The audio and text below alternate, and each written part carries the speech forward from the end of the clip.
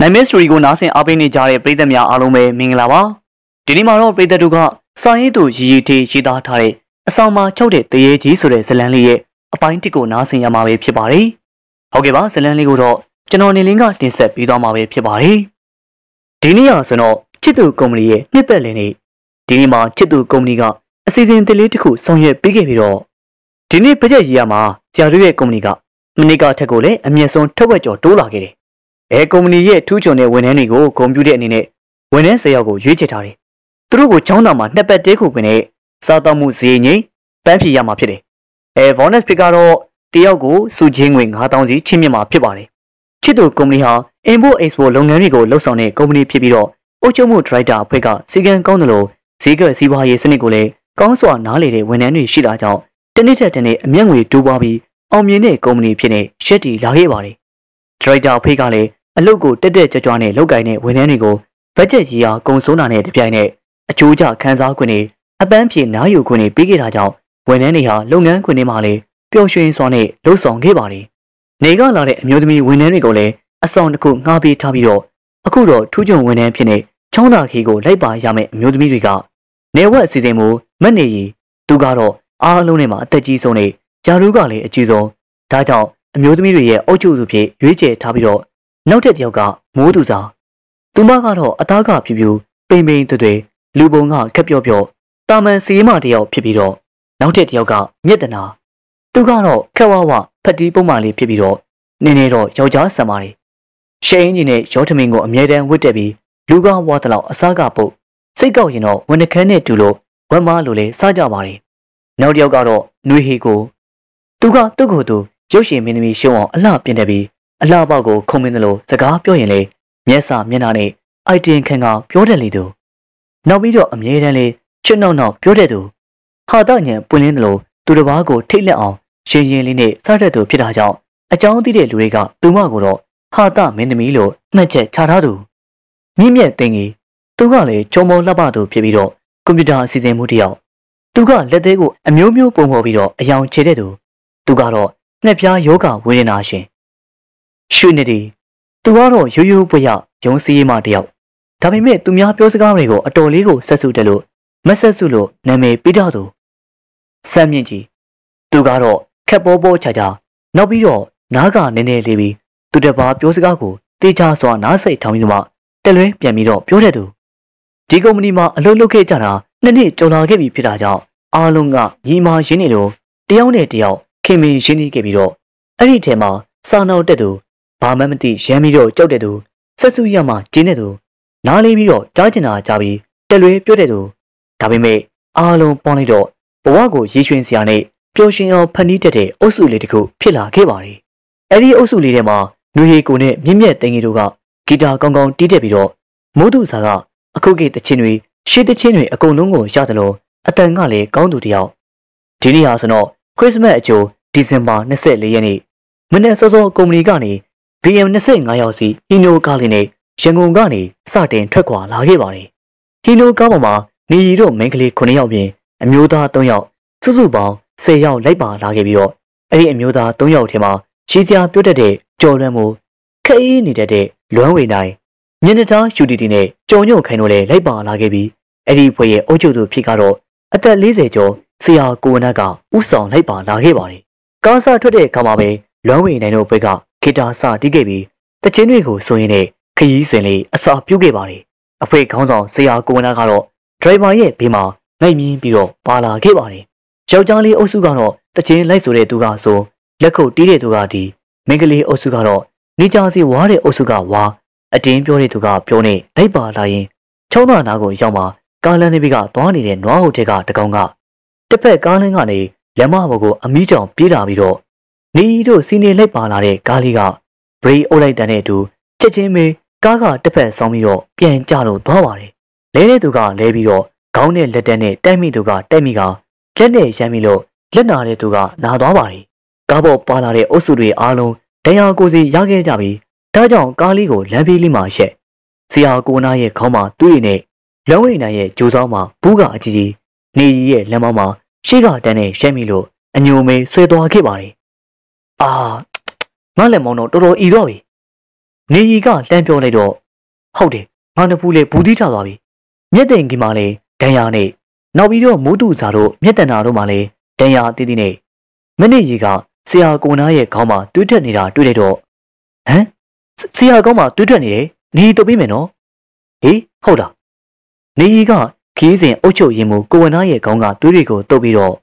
မင်းမပြုတ်စီပါတဲ့ရှင်မလားအေးပြီလေ လက်တလုံးဖြည့်ရှင်ဖို့ပြုတ်စီကအကောင်းဆုံးဖြစ်နေတာကြောင့်အပိုးတန်ပစ္စည်းလေးဖြစ်သွားပြီဆရာကုန်းကတက်တာရဲ့လားနေကြီးကဆရာကိုမေးလိုက်ပါတယ်အေးအေးတက်တာပါတယ်မနေ့ကျွန်တော်လည်းစေးလိမ့်ပြပါဦးကြုံလန်းမှုကလှမ်းနှောင်းလိုက်ပြီးတော့တကယ်တော့ကြုံလန်းမှုဟာကြီးကြီးကျယ်ကျယ်တန်ရာဆိုလို့ဘာမှမရှိပါဘူးဒါကိုနေကြီးကလည်းသိပြီးတော့ရော့ဒီမှာပေးုပ်စီကိုယ့်ဘာသာကိုလေခက်မာမာပြောပြီးတော့ပေးုပ်စီဘူးကိုလှမ်းပြီးပေးလိုက်ပါတယ် ဒီကမှာကြုံလန်းမှုကဟွန်းမနေကြီးကများတော်တော်လေးကိုမျက်နှာလိုက်တယ်နော်ဟုတ်တယ်ဟေးဒဏ်ရာကြီးတဲ့သူကိုကြီးတယ်လို့မျက်နှာလိုက်ရမယ်အရန်မျက်နှာလိုက်တာခံရင်တော့လေစနဘိန်းကားသာအကျိတ်ခံလိုက်တခါတည်းကိုမျက်နှာလိုက်မယ်အမလီမနေကြီးရဲ့စနဘိန်းကားအကျိတ်ခံပြီးတော့တရေဘဝရောက်မှာပဲမျက်နှာလိုက်တော့မှာလားမှားပါတယ်ဗျာမှားပါတယ်နေကြီးကပြောပြောဆိုဆိုနဲ့ကြုံလွဲမှုရဲ့လက်ကိုပရုတ်စီလင်းပြီးတော့အသက်အားဖြင့်ကြုံလွဲမှုတက်ကိုနည်းနည်းကြည့်တော့အမတပွဲလှုပ်ပေးခဲ့ပြီး ကျန်တဲ့မိုးတူစာတို့အုပ်စုကတော့ရွှေတူတွေမို့သူတို့ကိုရက်ကြည့်ရင်းနဲ့အားပေးခဲ့ပါတယ်။လွမ်းဝေနိုင်တဲ့ကြုံညို့နိုင်တို့ကတော့ငါတို့ကတော့တိတ်ပြီးဒဏ်ရာမကြည့်တော့ကိုယ့်ဘာသာပဲပြုတ်စီလိမ့်လိုက်တော့မယ်။အဲဒီလိုပြောပြီးသူတို့ကသာသူတို့ပြုတ်စီလိမ့်လိုက်ပါတယ်။မြက်တန်နာတို့ရွှေနေတီတို့ကကန်းကောင်းပြီးတော့တိတ်ပြီးတော့ဒဏ်ရာမရခဲ့ပါဘူး။ကဲကဲဒါဆိုကားထွက်လို့ရပြီလား။ဒရိုင်ဘာဦးလေးကြီးကဆရာကိုနာတို့အုပ်စုကိုလှမ်းပြောလိုက်ပြီးဆရာကိုနာကဟုတ်ရပြီရပြီ ကားထွက်လို့ရပြီ။ဟီနိုကားလေးဟာအဲ့ဒီနေရာကနေတပြေးပြေးထွက်လာပြီးတော့ဒဏ်ရာတွေအတီးတီးရခဲ့တာကြောင့်ဘသူကမှဂီတာမတီးတော့ပါဘူးအဲ့ဒီအချိန်မှာကြုံညွန့်ခိုင်ကအဲ့ဒီနေရာကဟိုတယ်နစ်ကကားမောက်သွားတဲ့နေရာဟာဒီလိုပြောလိုက်ပြီးတော့တိတ်ဆိတ်ခြင်းကိုဖြိုခွဲပစ်လိုက်ပါတယ်ဒီခါမှာကားပေါ်မှာပါလာတဲ့သူတွေကအံ့ဩသွားတဲ့မျက်နှာနဲ့သူ့ကိုလှမ်းပြီးတော့ကြည့်လိုက်ပါတယ်လွမ်းဝေနိုင်ကတော့နေရမောင်ကမင်းကကားမောက်တဲ့နေရာမှာဘယ်လိုသိရလဲ ဩအဲ့ဒီတော့ငါတို့မိသားစုကချောင်းသားသွားတာဒီနားမှာကားမောက်ပြီးတော့ကောင်မလေးတယောက်တည်သွားတယ်ကွာဒါကငါကိုယ်တိုင်တွေ့ခဲ့တာနော်အေးလေတည်ကျင်လဲတင်ပါပေါ့အဲ့ဒါဘာဖြစ်လဲငါကဒီနားတော့ဟိုတခါဒီနားမှာကားမောက်လို့တည်သွားတဲ့ကောင်မလေးကိုသတိရနေတော့ဟိုဘက်လမ်းကတွန်းနေတဲ့နွားကြီးကဒီဘက်ကိုအမီးရောင်ပြီးတော့ပြေးလာတာကွာတကယ်ကိုတိတ်ဆန်လိုက်တာကွာကြုံညွန့်ခိုင်ကခက်တီတီနဲ့ပြောလာတဲ့အခါမှာကြုံလန်းမှုကရောင်မင်းเจ้าငါသိရနော်အဒီပေါင်းနဲ့လာဖီးမနေနဲ့ မဖြီးပါဘူးကွာတကယ်ပြောနေရအဲ့ဒီကောင်မလေးရဲ့အလောင်းကိုမြင်ပြီးတဲ့ကညညမှာအိမ်မက်ဆိုးတွေမက်နေတာကွာမင်းကဘာတွေမက်လို့လဲဩအိမ်မက်ထဲမှာသပင်ဖားလာချလာတဲ့ကောင်မလေးရဲ့မျက်နှာမှာတွေးတွေပေးချင်နေရပဲပြီးတော့အကိုအကိုဆိုပြီးတော့ငါစီကိုပြေးလာတယ်လေငါလဲကြောက်တာနဲ့မလာနဲ့ဆိုပြီးတော့နှင်းထုတ်ရတယ်တလားလောက်နေမှအိမ်မက်ကမမက်တော့တာကွာကြုံညွန့်ခိုင်ရဲ့စကားကိုနေရီတို့အုပ်စုကစိတ်ဝင်စားလို့သွားပါတယ်ကြုံညွန့်ခိုင်ကဆက်ပြီးတော့ပြောလာပါတယ်အခုလေးကွာ ဒီနောက်ရောက်တော့ကောင်မလေးကိုသွားပြီးတော့သတိရမိတယ်မကြပါဘူးကွာနွားကကစုံပေါ့ပြီးတော့ရောက်ချလာတာပဲကွာကားဒရိုက်ဘာဦးလေးကြီးကကားမောင်းတော်လုံးတော့မဟုတ်ရင်တော့ဘာလဲကွာမဟုတ်ရင်တည်သွားတဲ့ကောင်မလေးစီကိုဒါရိတ်ရောက်သွားနိုင်တယ်လို့ပြောမလို့လားကြုံလန်းမှုကပြန်ပြောလိုက်ပြီးဒီကမှာကြုံညွန့်ခိုင်ကဟုတ်တယ်ငါစဉ်းစားနေတာနွားကဘာတွေတွေ့ပြီးတော့လှမ်းသွားလဲမသိဘူးလေကွာဘာလဲကွာမင်းကိုကောင်မလေးရဲ့ဝိညာဉ်တွေ့လို့ထင်ရှားအောင်နွားရဲ့တင်မှာပို့လိုက်တာလို့ထင်လို့လား ဟုတ်မဟုတ်တော့မသိဘူးလေကွာနိုင်ငံခြားတရေကားတစီကောင်းတွေထဲမှာကြည်ဘူးတာတော့သူတို့တွေရှိတာသိစေချင်တဲ့သဘောနဲ့နွားရဲ့တင်မောင်ရက်လိုက်တာဖြစ်မှာမဟုတ်ကွာဟေ့အောင်မင်းဒီရပြန်လေစိတ်ယုံကသာသွားပြီးတော့ပြပြီးတော့ပြောစရာမရှိတော့ဝိညာဉ်ချစ်သူဆိုပြီးတော့စိတ်ကူးရင်ကြည့်တာပေါ့ကွာနေကြီးတို့မင်းကလေးတတိုက်ကဝိညာဉ်ချစ်သူဆိုတဲ့ကြုံညုတ်ခိုင်ရဲ့စကားကိုကြားတော့အတော်လေးစိတ်ဝင်စားသွားပြီးကြုံညုတ်ခိုင်ကစောင့်နောက်ပေမဲ့လွမ်းဝိနိုင်ကသူ့ချစ်သူကိုအမှန်တကယ်သတိရသွားပြီးတော့လွမ်းဝိနိုင်ရဲ့အဖြစ်ကတော့ဒီလိုပါ မနစ်ကຫນွေဦးမှာလွမ်းဝိနိုင်နဲ့သူ့ရဲ့ချစ်သူရတနာတို့ကပကိုးဘက်ကိုခရီးထွက်ရင်းနဲ့ကားမောက်ပြီးတော့ရတနာတေဆုံသွားခဲ့ပါတယ်။လွမ်းဝိနိုင်မှာချစ်သူဆုံးရှုံးရတာကြောင့်ရတနာကိုလွမ်းနေစိတ်နဲ့ခက်ကြောင်ကြောင်ဖြစ်သွားပြီးရွာသားကြီးစိတ်စည်းယုံမှလည်းပြတာခဲ့ရပါတယ်။ကြုံညွန့်ခိုင်ပြောသလိုပဲအိမ်မက်ထဲမှာရတနာကရောက်ရောက်လာပြီးတော့အိမ်မက်တစ်စီချောက်နေလို့ဆရာဝန်နဲ့ပြခဲ့တာပါ။ဆရာဝန်ကစိတ်ဆွဲလွန်းတာကြောင့်ဖြစ်တာဆိုပြီးကုသပေးခဲ့လို့ပုံမှန်ပြန်ဖြစ်ခဲ့ပြီးတော့ အခုလိုကြုံညွန့်မှုကစောင့်နောက်ပြီးပြောလိုက်တဲ့အခါမှာရတနာကိုစိတ်ဆွဲပြီးတော့လမ်းဝိတ်နိုင်တယောက်ဝေဒနာအဟောင်းကအသစ်ဖြစ်လာပါတယ်ဂျေရနာကမှလွန်ဝိနိုင်ရဲ့ရင်ထဲကအိမ်မက်တစ်စီတယောက်ရဲ့ပါနေရီတို့ရဲ့ခီးစဉ်ကတလန်လုံးမှာငင်းကျန်းလာသလောက်ဒီနေရာရောက်တော့မှပဲအားလုံးရင်ခုန်ကြရတန်ရာရကြနဲ့တကယ်တမ်းပြောကြရေးဆိုတော့မိန်းကလေးတွေကပို့ပြီးတော့လေဆက်စုတက်ကြပါတယ်အခုလိုမျိုးကြုံညွန့်ခိုင်ရဲ့ပြောစကားတွေကိုကြားရတဲ့အခါမှာတော့ တစီတရေရဲ့အကြောင်းကခေါင်းလေးကိုရောက်လာပါတယ်မင်းကြုံညွန့်ခိုင်ပြောတာဘယ်လိုသဘောရလဲဟမ်တိုက်စင်တာနေမှာပါအေးအေးလေအရှိတယ်သူကလည်းဘာတွေပြောနေမှမသိဘူးမိုးကကြုတ်တက်တယ်နော်မိုးတူစာကနေကြီးကိုခတိုးတိုးလေးလှမ်းပြောလိုက်ပြီးတော့ဟောချောင်းတော့ကိုတော့ရောက်နေပြီ။နှွေဟီကူကလှမ်းပြောလိုက်ပြီးကားကြီးကလည်းကျောင်းသားတဲခိုဆောင်ရဲ့ရှေ့မှာစိုက်ကန်လိုက်ပါတယ်။ဆရာကိုနာကကဲဆရာတို့ ဘုကင်လှုပ်ထားတဲ့တဲခိုဆောင်ရှေ့ကိုရောက်ပါပြီ။ကုမ္ပဏီဝင်တဲ့အားလုံးတွေတဲခိုဆောင်စီကိုတွားလိုက်ကြပြီးတော့ယောက်ျားလေးတွေကဝဲဘက်ကတဲခိုဆောင်မှာအမျိုးသမီးအုပ်စုကရှားဘက်ကတဲခိုဆောင်မှာအတီးတီတဲခဲ့ပါတယ်။အမျိုးသားတွေရဲ့ဘက်မှာတော့ဆရာကိုနာခေါင်းဆောင်အမျိုးသမီးတွေရဲ့ဘက်မှာတော့မနေရီကခေါင်းဆောင်ဖြစ်နေထားလိုက်ပါတယ်။အခင်းကနှစ်ယောက်အိတ်ခန်းကြီးဖြစ်တာကြောင့်တကန်းမှာနှစ်ယောက်တွဲနေရာယူလိုက်ပြီးနေရီနဲ့မိုးတူစာမျက်တနာနဲ့နှွေဟီကိုမိမြဲတင်ကြီးနဲ့ရွှေနေဒီ စမ်းမြင့်ကြီးကတယောက်တည်းဖြစ်နေတာကြောင့်ငုံမဲမဲမျက်နာလေးနဲ့မနေစမ်းကတယောက်တည်းမနေရဘူးနော်ကြောက်တယ်။ဩဒါလေးများနေရီတို့ခန်းမှာလာနေပေါ့ဒီအခန်းတော်ဝင်ခံကိုနေရီတို့ခန်းနဲ့ဂရင်တလုံးလာဖို့ပါလို့ပြောလိုက်မယ်။ကောင်းတယ်မနေဒီလိုခံခွဲမှုကြောင့်လေမနီကြီးကအမျိုးသမီးကောင်းဆောင်ဖြစ်နေတာအမလီမြောက်မနေပါနဲ့မနီကြီးကဘဝင်မြင့်တက်တယ်နော်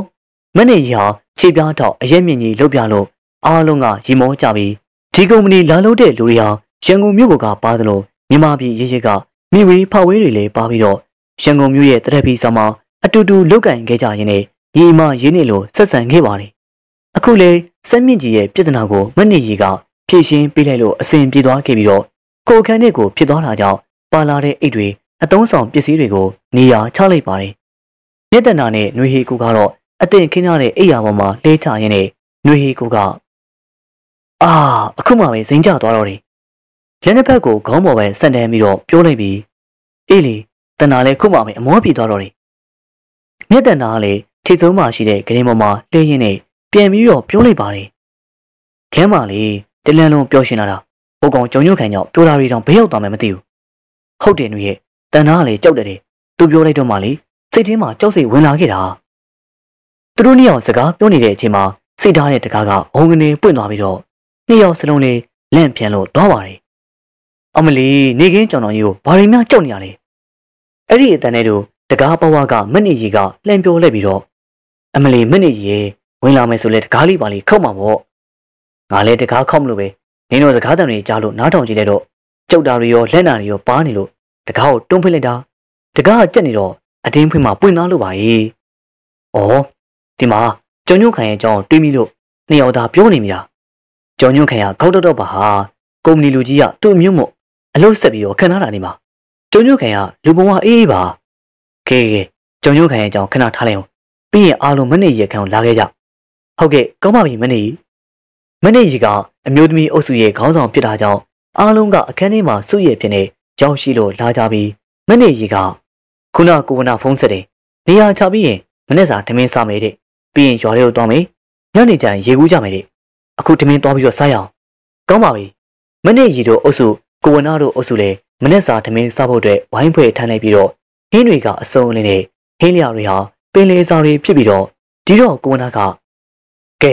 ပင်လေရောက်တော့ရောက်ခဲ့စီးဖူးတွေကိုအဝစားကြမနော်ဟုတ်ကဲ့ပါဟင်းတွေကစုံလင်လို့လာပြီးတော့ပစုံတော်မီးပုတ်ကိုတုတ်ထားတဲ့ပစုံတုတ်ကလည်းစားကျင်တပယ်ကောင်းပြီးတော့ကနေမောင်ဟင်းကလည်းအနှံ့ကမွေးနေပါတယ်ကင်းမောင်ဟင်းကလည်းစားရတာတထုပ်ထုပ်နဲ့အားလုံးဂရင်းတွေ့တဲ့ဟင်းလျာမျိုးတွေပါ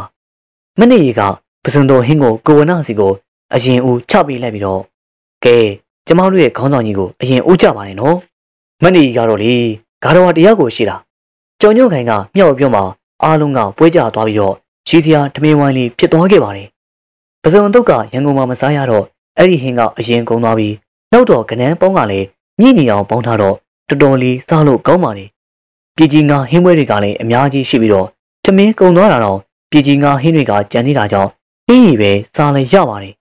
မမောပပန်းလာခဲ့ရတဲ့ခရီးစဉ်ရဲ့နွားနဲ့တိုက်ကနေပြစ်ပြီးတော့ကောင်းမောက်ခံနေဖြစ်ကြောင်းစိုးထိတ်တဲ့စစ်ရည်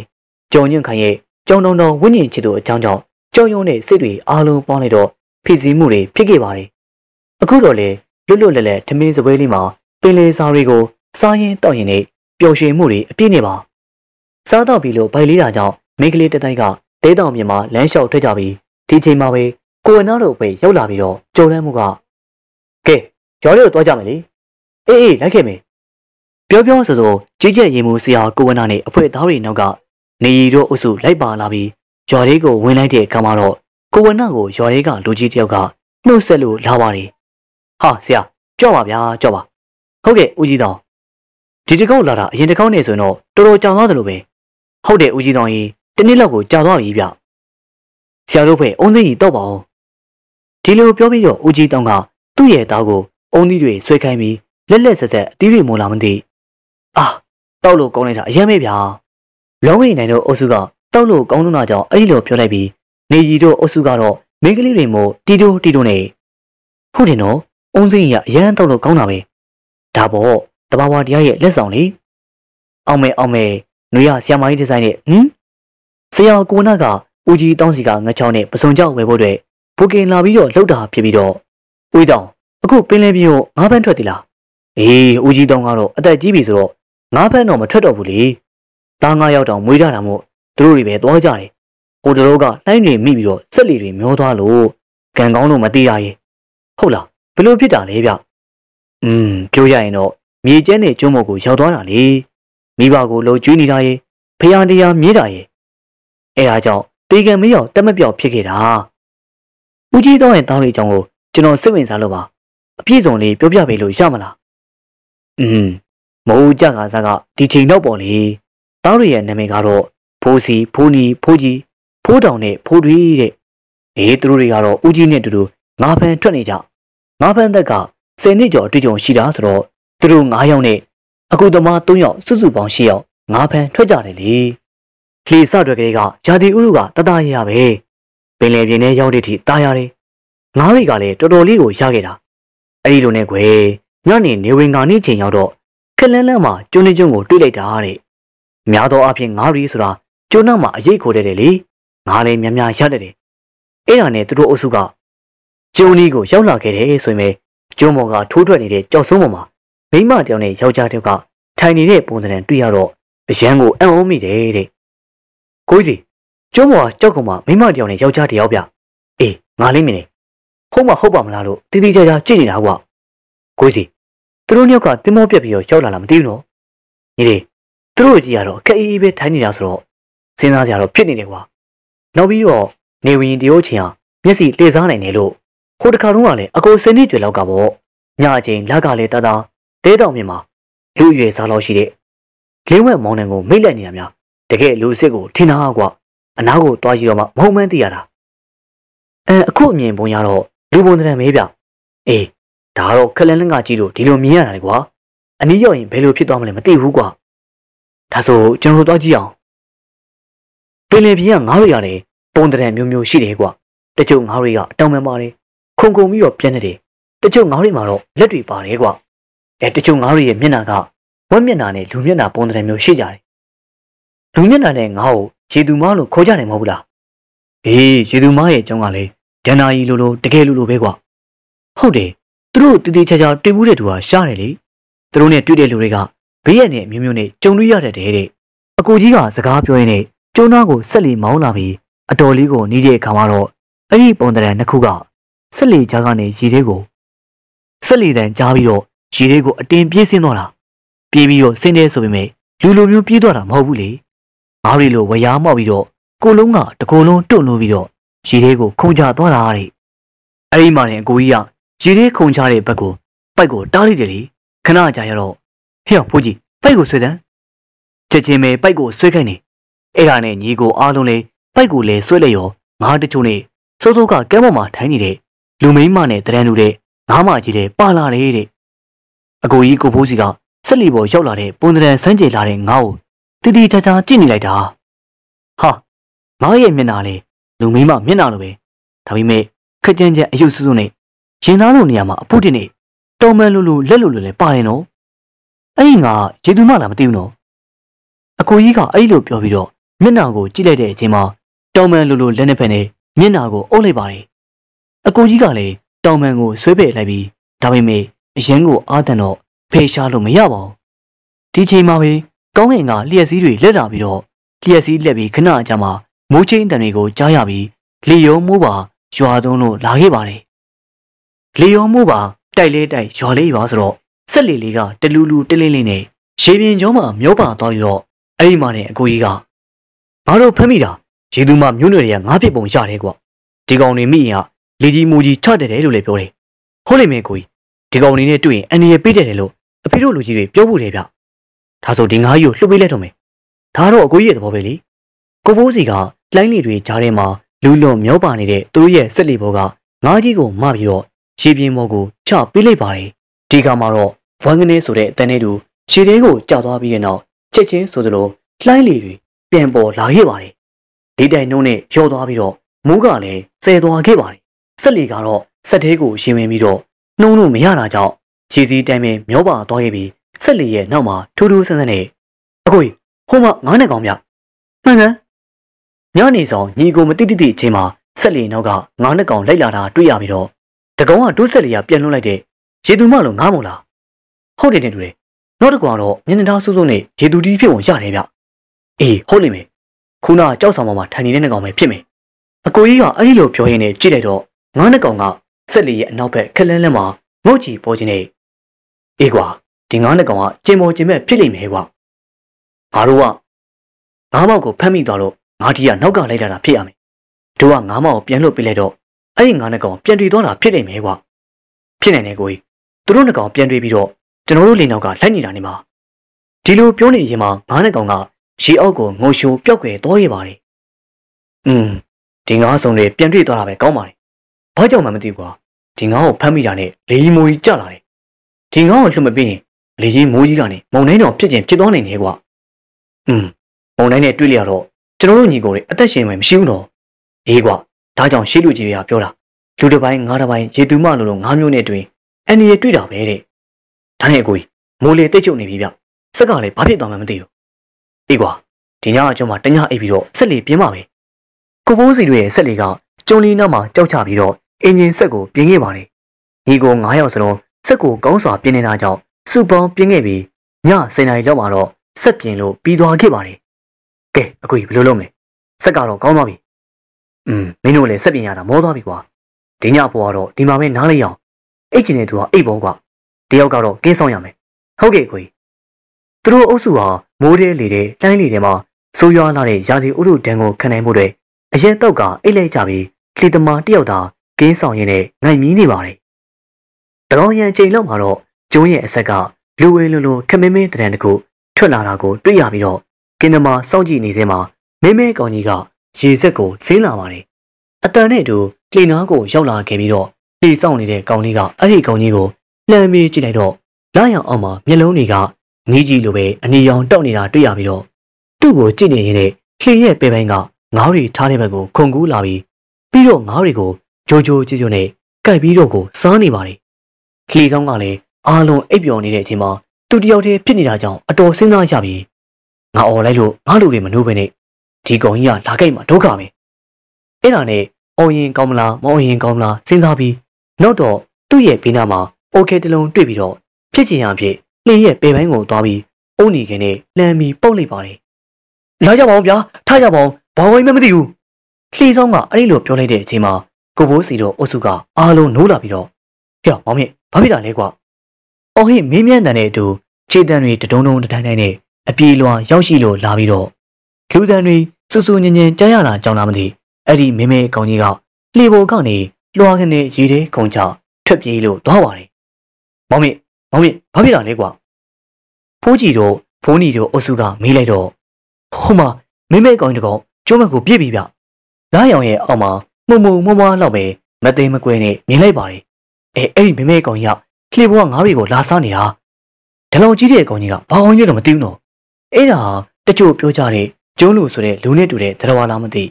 ကျုံးလူတွေဟာအမဲသားကိုတိတ်ကြိုက်ပြီးတော့အစိမ်းစားကြပြီးဒါမှမဟုတ်ရင်တော့မကောင်းဆိုးဝါပိတ်တာတွေပဲဖြစ်မှာပါอืมဒါကြောင့်ဒီကျုံးလေမကောင်းဆိုးဝါပရလောကသားတွေမြူးတဲ့ကျုံးလို့ပြောကြတာနေပဲဟုတ်မယ်ဗျတချို့လေတွေကလူတယောက်မှမရှိတော့ဘဲနဲ့ပင်လယ်ထဲမှာလှေကြီးပဲမျောနေတာလှေသားတွေအားလုံးတေးကုန်တာလေအေးကွာ ဒီရေပြင်ကလေဒုမသိတဲ့အချက်လက်တွေနဲ့ပြည့်နေတာပဲဟုတ်တယ်ညီလေးတို့လူတော်တော်များများကတော့မြေပြင်ရဲ့အကြောင်းတော့ကိုပဲပြည့်ပြည့်စုံစုံနဲ့သိတာများတယ်ကွာရေပြင်အကြောင်းတော့သိမသိကြအောင်ဟုတ်တယ်ကိုဒီနေ့ရတော့ဒီကျုံးမှာဆက်နေလို့မကောင်းတော့ဘူးနော်အန်ဒီရရှိနေတယ်ကဲဖိုးကြီးမင်းဆက်ကိုမောင်းကြည့်တယ်ဖိုးကြီးကဆက်ကိုနှိုးကြည့်လိုက်တဲ့အခါမှာဘောကနေဆက်နိုးသွားပြီးတော့အကိုရတယ်ဗျအေးကွာတို့ရဘက်ကိုမောင်းကြမယ်လာပင်းညလေးဖြစ်တာကြောင့် အဲ့ဒီအချိန်မှာလာမင်းကြီးကထိန်ထိန်သားနေပြီးကျုံးလူလောဘာလို့မသိတဲ့တရဝါကြီးရောက်ဆက်လေလေးကိုကျုံးကနေထွက်ခွာခဲ့ပါတယ်ကျုံးဘက်ကိုလှည့်ကြည့်လိုက်တော့ရေစံနားမှာမဲမဲအကောင်ကြီးတွေအများကြီးမတက်ရက်နေတာတွေ့ရပြီးဒီတော့မှအကိုကြီးကတော်သေးတာပေါ့ကွာတကောင်မဲလှေပေါ်ကိုတက်လာလို့ရှိသမျှအကောင်တွေတက်လာလို့ကတော့ငါတို့တွေလည်းအခွန်ကြီးပဲကျန်းတော့မှာကဲဒါဆိုကိုကြီးကျွန်တော်တို့ကတော့စက်ကုံဖိပြီးတော့ပြေးရမှာပဲဒီလိုနဲ့ဖိုးစီတို့အုပ်စုလည်း အန်ဒီရဲ့လက်တကယ်ကနေလွတ်မြောက်လာပြီးတော့ဒါကတော့ဘာကြီးတောင်းရဲ့သားတွေတွေ့ကြုံခဲ့ရတဲ့ပင်လယ်ပြင်ကပရာလောကသားနဲ့ပင်လယ်အတွေ့အကြုံတစ်ခုပါဆရာဝနာတို့အုပ်စုတကားပြောလို့ပြီးမှတော့အဆောင်ကိုပြန်လာခဲ့ပါတယ်နေညိုညိုညနေဆောင်ပင်လယ်ပြင်မှာရေစင်းကူးနေကြတဲ့သူတို့ချုပ်ကိုတွေ့ရပြီးတော့မနီကျမတို့ရေကူးရအောင်လေမြတ်တနာကပြောလာပြီးอืมကူးမယ်လေနေရီတို့အုပ်စုဟာရေကူးဝစ်စုံကိုစီဝစ်ထားပေမဲ့ ခြုံဆောင်မွေးပွားမျက်နှာတို့ပွားကြီးကိုပတ်ပြီးတော့ကန်းဆက်စီဆင်းလာခဲ့ပါတယ်ရေပြင်သားကကန်းဆက်မှာမွေးပွားမျက်နှာတို့ပွားတွေကိုချထားပြီးတော့ရေထဲကိုအမြန်ဆုံးဆင်းလိုက်ပြီးမြတ်တနာဘာလို့ရေတို့ခက်မြင်မြန်ဆင်းသွားတာလဲရေကူးဝစ်စုံဝေးရတာရှက်လို့ရှက်မနေပါနဲ့မြတ်တနာရဲ့ခြေတော့ကလွတ်လွတ်လပ်လပ်မှကူးခက်လို့ကောင်းတာထမင်းနဲ့ဆိုရင်ကူးလို့မကောင်းဘူးနေရီကမြတ်တနာကိုရှင်းပြလိုက်ပြီးဒီတော့နှွေဟေကူကဟုတ်တယ်မြတ်တနာရဲ့ရုံမရောက်ရင်ရုံမလို့ဝေးတဲ့ ဒီလိုပြောလိုက်တော့စမ်းမြင့်ကြီးကလည်းဟဲ့ဟဲ့မဟုတ်ကြတွေပြောနေပြီရုံမရောက်ရင်ရုံမလို့ကြစ်မှာဟာအဲ့ဒီလိုပြင်ပြောလိုက်ပြီးဒီတော့မြတ်တနာကဆက်ပြေးဖြစ်နေမသိပါဘူးရုံမလို့ဝတ်တာများလားလို့ချော်လေးရိုးထိုင်လိုက်ပြီးနှွေဟေကူကတော့ရေကူးဝတ်စုံနဲ့ရေထဲကိုဆင်းလာပါတယ်သူ့ရဲ့နောက်မှာမြင့်မြတ်တင်ကြီးတို့ရွှေနေတီတို့အုပ်စုအားလုံးထဲမှာနှွေဟေကူကကိုလုံးအလှဆုံးခက်တောင်းတောင်းခက်ပြောင်းပြောင်းနေနှွေရလေရေကူးဝတ်စုံနဲ့အရန်လာတာပဲ စမ်းမြင့်ကြီးကပြောလိုက်တော့နှွေဟေကူကအစာရွှေရှင်မင်းသမီးလုံးမလို့နော်ဘယ်လိုကနေဘယ်လိုကုမ္ပဏီဝန်ထမ်းဖြစ်သွားမှမသိပါဘူးอืมဒီတယောက်ကတော့လေဘုံမြောက်လို့တယောက်ကတော့မြောက်သွားပြန်ပြီဟဲ့ဒါဆိုငါအယူပေါ့နှွေကူကရွှေနေကြီးကိုရေနဲ့လှမ်းပက်လိုက်ပြီးတငယ်ချင်းတတိုက်ပျော်ရွှင်စွာနဲ့ရေထဲမှာကိုးခက်သွားနေပါတယ်ဒီခါမှာကြောက်တက်တဲ့မိုးသူဇာကအတန်သေးသေးလေးနဲ့အော်လိုက်ပြီးဒီတော့မနေရီကအပြေးပြေးသွားပြီးတော့ မိုးသူဇာဘာဖြစ်လို့လဲမနေရေရီကတခုခုကခြေထောက်ကိုလှမ်းဆွဲတယ်လို့ပဲမဖြစ်နိုင်ပါဘူးမိုးသူဇာရဲ့ရေအောက်ကရေမော်တွေနဲ့များညှိလာမသိပါဘူးမဟုတ်ဘူးမနေမိုးခြေထောက်ကိုဖမ်းကန်လိုက်တာကဲဒါဆိုရင်လေနေရီတို့ရဲ့နာမလာကစားလေမိုးသူဇာကသူမနားမှာလာကူးနေပြီးတော့နှွေကိုတို့ကတော့ရွှေနေရီတို့တွေကတော့ရေကူးကျွမ်းကျင်တာကြောင့်အဝေးမှာသွားပြီးတော့စောင့်နေပါတယ်ဒီကောင်မလေးနှွေဟေကိုကလှုပ်ကြပါအောင်ဆိုပြီးတော့အော်ပြန်ပြီး အနားမှာရှိတဲ့ရွှေနေတီကနှွေဘာဖြစ်တာလဲနှွေချတော့ကိုရေအောက်ထဲကတဲရောက်ဆွဲလိုက်တယ်လို့ပဲနှွေဟေကိုကပြန်ပြောလိုက်တော့အားလုံးကအံ့အားသင့်သွားပြီဟဲ့ကြစ်ကြက်လို့ကြောင်နော်ဟိုတယောက်ကလည်းခြေထောက်ကိုဆွဲတယ်တဲ့နှွေကလည်းခြေထောက်ကိုဆွဲတယ်လို့ပြောပြန်ပြီနေကြီးကခက်ကြီးကြီးနဲ့ပြောလိုက်ပြီးတော့နှွေဟေကိုကတော်ပြီတော်ပြီရေတောင်ဆက်ပြီးတော့မကူးကျင်တော့ကြောက်တောင်ကြောက်လာပြီအဲ့လိုပြောပြီးတော့ရေတိန်နဲ့အပိုင်းကိုဆက်ကူးလာပြီးဒီအချိန်မှာပဲ ခြေနဲ့ထဲဘွားကနေပေါ်လာပြီးတော့သူကတော့မြင့်မြတ်တင်ကြီးဟဲ့ဟဲ့ဘာဖြစ်တာလဲမြင့်မြတ်ကဖေးပြီးတော့ရေတွေကပေါ်လာတယ်မြင့်မြတ်နေရင်ငုံနေရလားမြင့်မြတ်တင်ကြီးကဦးကြောင်ကြောင်မျက်နှာနဲ့ရေကူးရင်းနဲ့ရေရန်ငုတ်ကျင်လို့လေရင်ငုံလိုက်တာရေထဲမှာဘာတွေတွေ့မှမသိလို့ဒီဘက်ကိုပြန်လာကူးရင်းနဲ့ခြေထောက်တွေကိုတွေ့လို့ကြောက်လိုက်တာခြေထောက်တွေကိုတွေ့လို့ကြောက်တာနဲ့အဲ့ဒီခြေထောက်တွေကိုလှမ်းဆွဲလိုက်တာအမလေးဟဲ့တရခင်ကမြင့်မြက်ကို နေရတော့လေအဆောက်နောက်ကိုတတ်ပါတယ်မြင့်မြက်နေရတာစလေငါတို့တော့ကြောက်တာနေတယ်သိတိုင်းနေ sorry နော်မိုးသူစားနေတွေငါကလေစကြင်တော့ချင်တော့မဟုတ်ပါဘူးခေါင်းနေမူပြီးတော့ဘာတွေတွေ့မှမသိတော့ပါအေးပါရန်ကုန်မှာရေမကူးပြစ်တာကြာပြီဆိုတော့ဒီမှာဝအောင်ရေကူးလန့်မယ်နေကြီးကအဲ့လိုဆက်ပြောလိုက်ပြီးကျန်တဲ့သူတွေကလည်းဆက်ပြီးတော့ကူးနေပါတယ်ဒါပေမဲ့ຫນွေနဲ့မိုးသူစားတို့ရဲ့စိတ်ကတော့နည်းနည်းလေးကြောက်စိတ်ဝင်နေပါတယ်။ အဲ့ဒီလိုရေကူးနေရင်ခဏကြာမှဒီတခါနေကြီးကအရာတစ်ခုကိုလှမ်းပြီးမြင်လိုက်ပါတယ်ဟဲ့ဘာကြီးတော့နေကြီးမြင်လိုက်တဲ့အရာကတွေးတွေပေပွားနေတဲ့လက်မောင်းကြီးတစ်ခုဟဲ့ဟိုဟိုမလက်ပြက်ကြီးကြောက်ကြောက်ရင်ရုံနဲ့လှမ်းအောင်လိုက်ပြီးဘယ်မလဲမနေကြီးဟိုဟိုမဟာလက်ပြက်ကြီးမျောလာတယ်နေရီတို့ရဲ့အော်တန်ကြောင့်အနီးနားမှာရေကူးနေတဲ့ဆရာဝန်သားတို့အုပ်စုတခြားရေကူးနေကြတဲ့လူတွေဟာအဲ့ဒီနားကိုစုပုံရှုပ်လာပါတယ် တကယ်ပါလက်ပြက်ကြီးကရေထဲမှာထုံရတာမျောလာပြီးလူတွေကလည်းအံ့ဩလို့နေပါတယ်လက်ပြက်ကဘလို့ဖြစ်ပြီးတော့ထောင်ပြီးမျောလာတာလေဟုတ်ပါဗျာမျောမယ်ဆိုလေလှဲပြီးတော့မျောလို့ရတာပဲယောက်ျားလေးအုပ်စုဘက်ကစကားသံတွေထွက်လာပြီးအဲ့ဒီထဲမှာတတိရှိပုံရတဲ့အမျိုးသားတစ်ယောက်ကထွက်လာပြီးတော့သူကတော့ဆရာကိုနာရေပါအဲ့ဒီလက်ပြက်ကြီးကိုမတင်အောင်ဗျာကျွန်တော်တော့ပြီးတော့ဆေးကြည့်မယ်ဆရာကိုနာဖြစ်ပါမလားဖြစ်တယ်မနှွေကျွန်တော်တော့မှတည်တည်ချာချာသိရမှာ တေချာအောင်ကျွန်တော်ကိုလည်းအနောက်သွားလိုက်မယ်ဒါဆိုတေချာပြီးတော့သွားနော်ကိုဝနက်ကရေကူးချန်ပီယံတယောက်လိုပဲအမြန်ဆုံးကိုသွားပြီးအားလုံးကရင်တမမနဲ့ကြည့်နေပါတယ်နေရီပါဝင်အားလုံးကတော့လက်ပြက်ကြီးကိုစိတ်ဝင်စားနေပြီးရောက်သွားပြီးတော့လက်ပြက်ကြီးကိုဆွဲပြီးယူလိုက်ပါတယ်အမလေးလက်ကြီးကပုတ်ပွားနေလို့ရေပေါ်မှာပုတ်နေတာမိုးသူစာဟာအသေးတုံရှင်တော်စွာနဲ့ကြည့်နေပြီးဆရာကိုဝနက်ကလက်ပြက်ကြီးကိုဆွဲယူပြီးတော့ကန်းဆက်ကိုပြန်လာခဲ့ပါတယ် ဒီမှာကြည့်ကြစမ်းဆရာကိုနာကကန်းဆက်ကိုရှောက်လာပြီးတော့လက်မဲကြီးကိုထောင်ပြလိုက်ပြီးဟာဒီလက်မဲကြီးကိုကြည့်ပြီးတော့မကြောက်ကြပါနဲ့ဟောဒီလက်မဲကြီးကတကယ်အစ်စ်မဟုတ်ဘူးပလတ်စတစ်ကောင်းစားနဲ့လှုပ်ထားတာနိုင်ငံသားဖြစ်လက်တူကြီးပါလက်မဲကြီးကိုလာရောက်ကြည့်ရှုကြတဲ့ပိတ်သက်ကြီးစီကအာမေထိတ်တန်တွေထွက်ပေါ်လာပြီးဒါကြောင့်ပဲဆရာကိုနာစီကလက်မဲကြီးကိုတည်တည်ချာချာကြည့်လိုက်တော့တကယ်အသားရောင်မဲမဲတိုင်းပြုတ်လုပ်ထားတဲ့လက်မဲလက်ပြက်ကြီးလက်မာလေးသွေးတွေစီးကြနေတဲ့အတိုင်းပဲ သွေးရောင်နဲ့ခြေသားလို့ထားပါတယ်ဒီလက်ပြက်ကြီးကဘယ်လိုကနေဘယ်လိုရေထဲများမျောနေတာလဲမသိဘူးဒါတေးသေးချာချာလှုပ်ထားတဲ့လက်ပြက်ကြီးပဲဟုတ်ပါရဲ့ကြည်စမ်းမောင်ဖြုံးကနေကြည့်လိုက်ကြောက်စရာကြီးဘာကြောင့်များဟောဒီလက်ပြက်ကပင်လေလေးလွင့်ပြလဲမသိပါဘူးအဲ့ဒီလိုမျိုးတယောက်တစ်မျိုးပြောနေကြတော့မှဂျင်းမောင်းမီနဲ့မြို့သားတယောက်ပြေးလာပြီးတော့ဟိုအဲ့ဒါကျွန်တော်ပစ္စည်းပါဗျာပြန်ပေးပါဟာမင်းပစ္စည်းဆိုရင်လည်းဘာဖြစ်လို့ရေထဲမှာမြှုပ်လိုက်တာလဲကွာရဲမှမျောလိုက်တာမဟုတ်ပါဘူးဗျာမျောတော့တာပါ အဲ့ဒီလူရဲ့အပြေကတိတ်မနေသေးပဲဒီလူနဲ့စကားပြောနေတော့မှလူတက်တိုက်ကပြေးလာပြီးပြီးတော့ခေါင်းဆောင်နဲ့တူတဲ့လူကကျွန်တော်တို့ကရုပ်ရှင်ဖွဲ့ကပါဒီလေးပြက်ကြီးရဲ့အကြောင်းကိုရှင်းပြပါမယ်အဲ့ဒီလိုမျိုးပြောလာပြီးကဲပြောစမ်းမအောင်ဒီလေးပြက်ရဲ့အကြောင်းဆရာကိုဝနကတကယ်ဆရာကြီးစတိုင်နဲ့ပြောလိုက်တော့ဒီလိုပါကျွန်တော်တို့ကတီးမာလာရုပ်ရှင်ထုတ်လို့ရပါအခုစကြမ်းစက်ဝင်ကန်ရိုက်နေတာပါမင်းသားနဲ့လူဆိုတဲ့တဲ့ကပင်လယ်ကမ်းစပ်မှာဓာတ်ရီနဲ့ဖိုက်တင်ချတဲ့ခံရိုက်တာပါ အဲ့ဒါလူချမ်းရဲ့လက်ကပြက်ပြီးတော့ခြေလေးမျိုးသွားတဲ့ခံရိုက်နေတာပါဒီလက်ပြက်ကိုအဓိကထားပြီးတော့ရိုက်ချင်လို့နိုင်ငံခြားကိုသွားတော့ဒရိုက်တာကြီးကဝယ်လာတဲ့လက်ပြက်ပါဩဒီလိုလားဟုတ်ပါတယ်ဗျာလက်ပြက်ကြီးကိုရေထဲပြစ်ချပြီးတော့စက်ဝင်ခံရိုက်တာအဲ့ဒီလက်ပြက်ကရေထဲလေးရောက်ရောလှိုင်းပုတ်ပြီးတော့မျောသွားလို့ဗျမနေ့ကိုလက်ခဲ့ရတာအခုမှပဲလက်ပြက်ကြီးစီရောက်လာခဲ့တာကဲဒါဆိုဒီလက်ပြက်ကြီးကခမရတို့ပစ္စည်းပေါ့ဟုတ်ပါတယ်ဗျာဟုတ်ပါတယ်ဒါဆိုလေယူပေါ့ဗျာ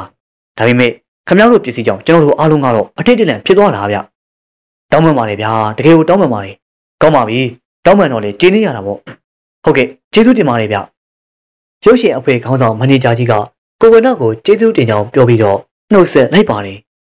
ပြီးတော့ကိုဝနရဲ့နောက်မှာရက်နေတဲ့နေရီတို့အဖွဲ့ကပါအားနာတယ်ပြုံးနေဟိုကျွန်တော်တို့ပြင်လိုက်ပါမယ်ခင်ဗျကောင်းပါပြီလက်ပြက်ကြီးအေးဟုတ်ပါဘူးမန်နေဂျာကြီးအယောင်ယောင်အမမနဲ့ပြန်ပြေးလိုက်ပြီးတော့ ရုပ်ရှင်မန်နေဂျာကြီးတို့အုပ်စုပြန်သွားတဲ့အချိန်မှာမိုးကလည်းကျုပ်နေပြီးရေးဆက်မကူးတော့ဘဲနဲ့အဆောင်ကိုပြန်လာခဲ့ပါတယ်။နေကြီးကရေစုံနေတဲ့သပင်းတွေကိုတုတ်ရင်းနဲ့အားလုံးကိုပြောလိုက်ပါတယ်။ဒီနေ့ဘွားတော့ကံမကောင်းဘူး။မနေ့ကလည်းတွပီလေးတန်းနဲ့ဟုတ်တယ်လေမိုးရဲ့စထွက်လာတဲ့ကနွားတိုင်းမိမလို့ဖြစ်တယ်။ကံကောင်းလို့မသိတာနော်။ဟုတ်ပါရဲ့မနေ့ရဲ့ဒီကြားထဲကြောက်ပါတယ်ဆိုမှမြင့်မြက်ကတမောက်အဲ့ဒီကမှမြင့်မြက်က မနေ့ကလည်းမြင်းမြက်ကဘာဖြစ်လို့လဲဆိုတာမမေးဘူးကဲပြောစမ်းမအောင်ဘာဖြစ်လို့လဲမြင်းမြက်ကရေကူးရင်းနဲ့ရင်ငုံလိုက်တာတတိလက်တလို့ဖြစ်ပြီးတော့ကြောက်ဆောင်နေဘက်ကိုရောက်သွားတာလေလူလူလူငါးလူလူအကောင်လေးကြောက်ဆောင်နှောက်ဝင်မှာမတင်မချတွေ့ရတာအဲ့ဒါလန့်ပြီးတော့ပြန်ကူးလာတာဒီဘက်ရောက်တော့ကြောက်တွေတွေ့တာနဲ့လှမ်းပြီးဆွတ်လိုက်တာနှွေနဲ့မိုးရဲ့ကြောက်တွေဖြစ်နေတယ်လေဒါပေမဲ့ရေထဲမှာဆိုတော့ကြောက်မှာဆိုတော့မပြောတာကဲတော်ပြီတော်ပြီဒီနေ့ဖို့ကြောက်စရာထိတ်လန့်စရာတွေနဲ့တိုးနေပါလား ဟုတ်ပါရဲ့မနေရဲ့ဒီတကခရီးထွက်ရတာအစမ်းနဲ့ကျေပဲဒီလိုပြောနေတဲ့အချိန်မှာမနေလှုပ်ဆမ်းပါအောင်ကျမမျက်နှာတွေတင်းပြီးတော့မျက်လုံးတွေလည်းအရန်လေးတာလို့ရွှေနေဒီဟာအဲ့လိုပြောရင်လည်းလဲကြလို့တော့ပါတယ်နဒီအဲ့ဒီဘယ်လိုဖြစ်တာလဲအနားမှာရှိတဲ့နှွေဟေကိုနဲ့စက်မြင့်ကြီးကပွေးလိုက်ရင်လည်းမေးလိုက်ပါတယ်ကျမရဲ့မျက်နှာတွေအရန်ကိုတင်းပြီးတော့ရလိုက်တာဟင်နဒီမျက်နှာဘယ်လိုဖြစ်တာလဲစက်မြင့်ကြီးရဲ့အပြောကြောင့် နဒီမျက်နှာကိုကြည့်လိုက်တဲ့အခါမှာသူမရဲ့မျက်နှာတစ်ခုလုံးကအဖူအပိတ်နေနဲ့မြင်လို့မကောင်းအောင်ဖြစ်လာပါတယ်။မင်းကလေးတတိုက်ဝယုံတုံကဖြစ်နေတော့မှတဲခုဆောင်စောင်းနေအတော်ကြီးရောက်လာပြီးတော့ရေတရေကက်လိုက်တာနဲ့တူတယ်။အမလီရေတရေဟုတ်လား။ရေတရေဆိုတာဘာကြီးလဲ။အော်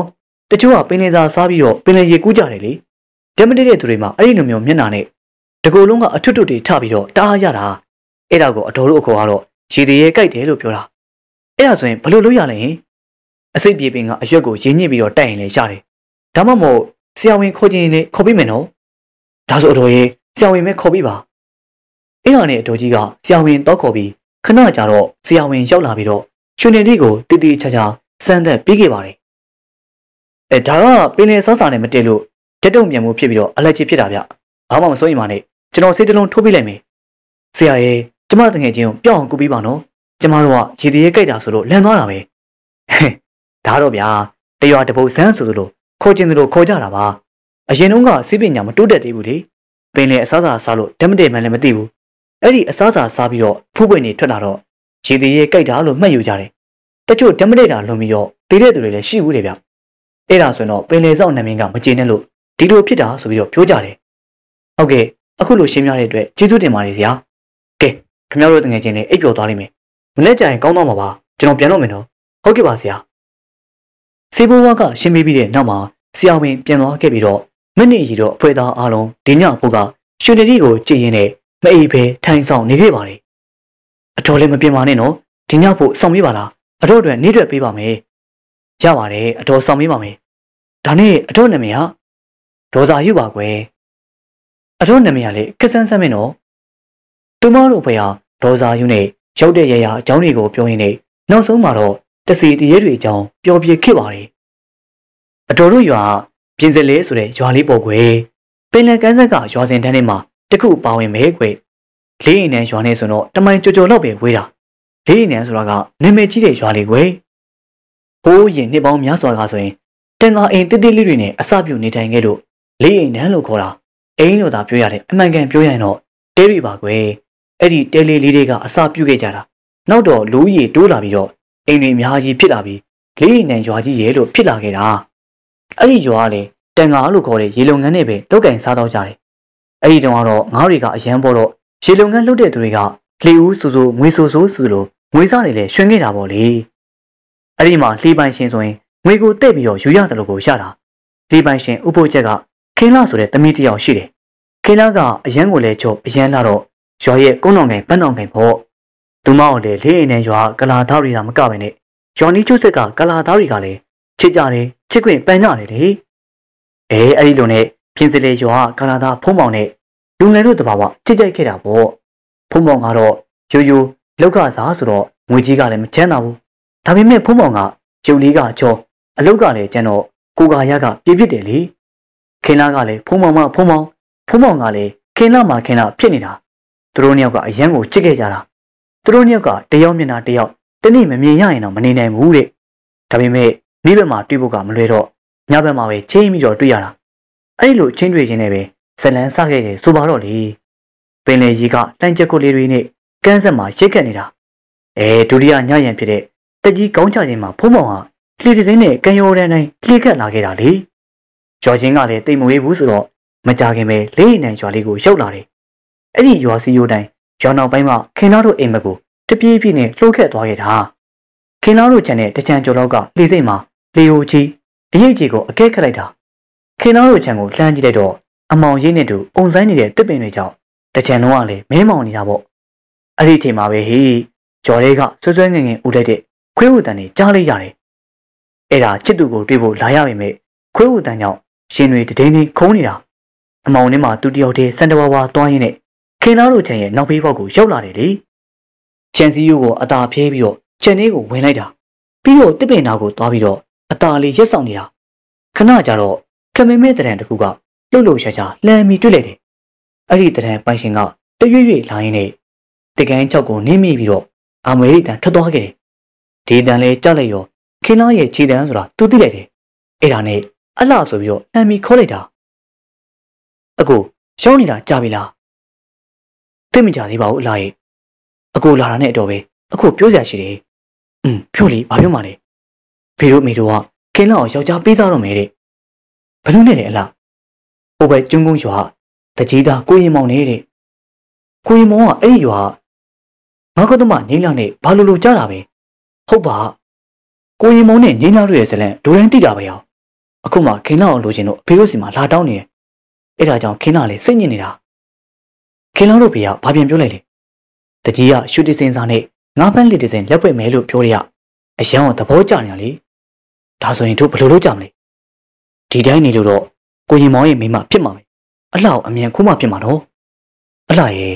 အကူကဘာမှမပြည့်စုံသေးတော့ကောင်းကောင်းမွန်မွန်ထားနိုင်မှာမဟုတ်သေးဘူးနော်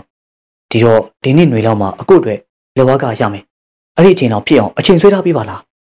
အင်းလေအကူပြောတဲ့အတိုင်းအလှအချိန်ဆွဲထားကြည့်မယ်လေနော် အဲ့ဒီလိုနဲ့နှစ်ယောက်သားစကားပြောနေကြတဲ့အချိန်ခင်လာတို့ရဲ့အိမ်တော်ဖေးဘက်ကလူရိတ်တွေတွေ့ရပြီးတော့ခင်လာခင်လာဘယ်တော့နေရလဲဟမ်ဒါအဖေတံပဲခင်လာပြောတော့တာအဖေတီးသွားပြီဒုက္ခပါပဲဒါဆိုအကိုတို့ဘယ်လိုလုပ်ကြမလဲအကိုဒီတိုင်းထားခဲ့တော့ကိုရင်မောင်နဲ့ချက်ချင်းပေးကြတော့မှာဒီတော့အကိုအလှခိုးလိုက်တော့ဒါမှအကိုနဲ့ပေါင်းရမှာဖြစ်ပါမလားအလှရဲ့ဘာပဲဖြစ်ဖြစ်ရွေးချယ်စရာလမ်းမရှိတော့ဘူးလေအဲ့ဒီအချိန်မှာ အတန်လေးကတပြေးပြေးနီးလာပြီးတော့မိကွက်ကင်ဆောင်ထားသူတွေစီကတမီခင်လားဘယ်တော့နေရလဲတမီအဖေတို့တန်ကြားရင်ပြန်ထုနော်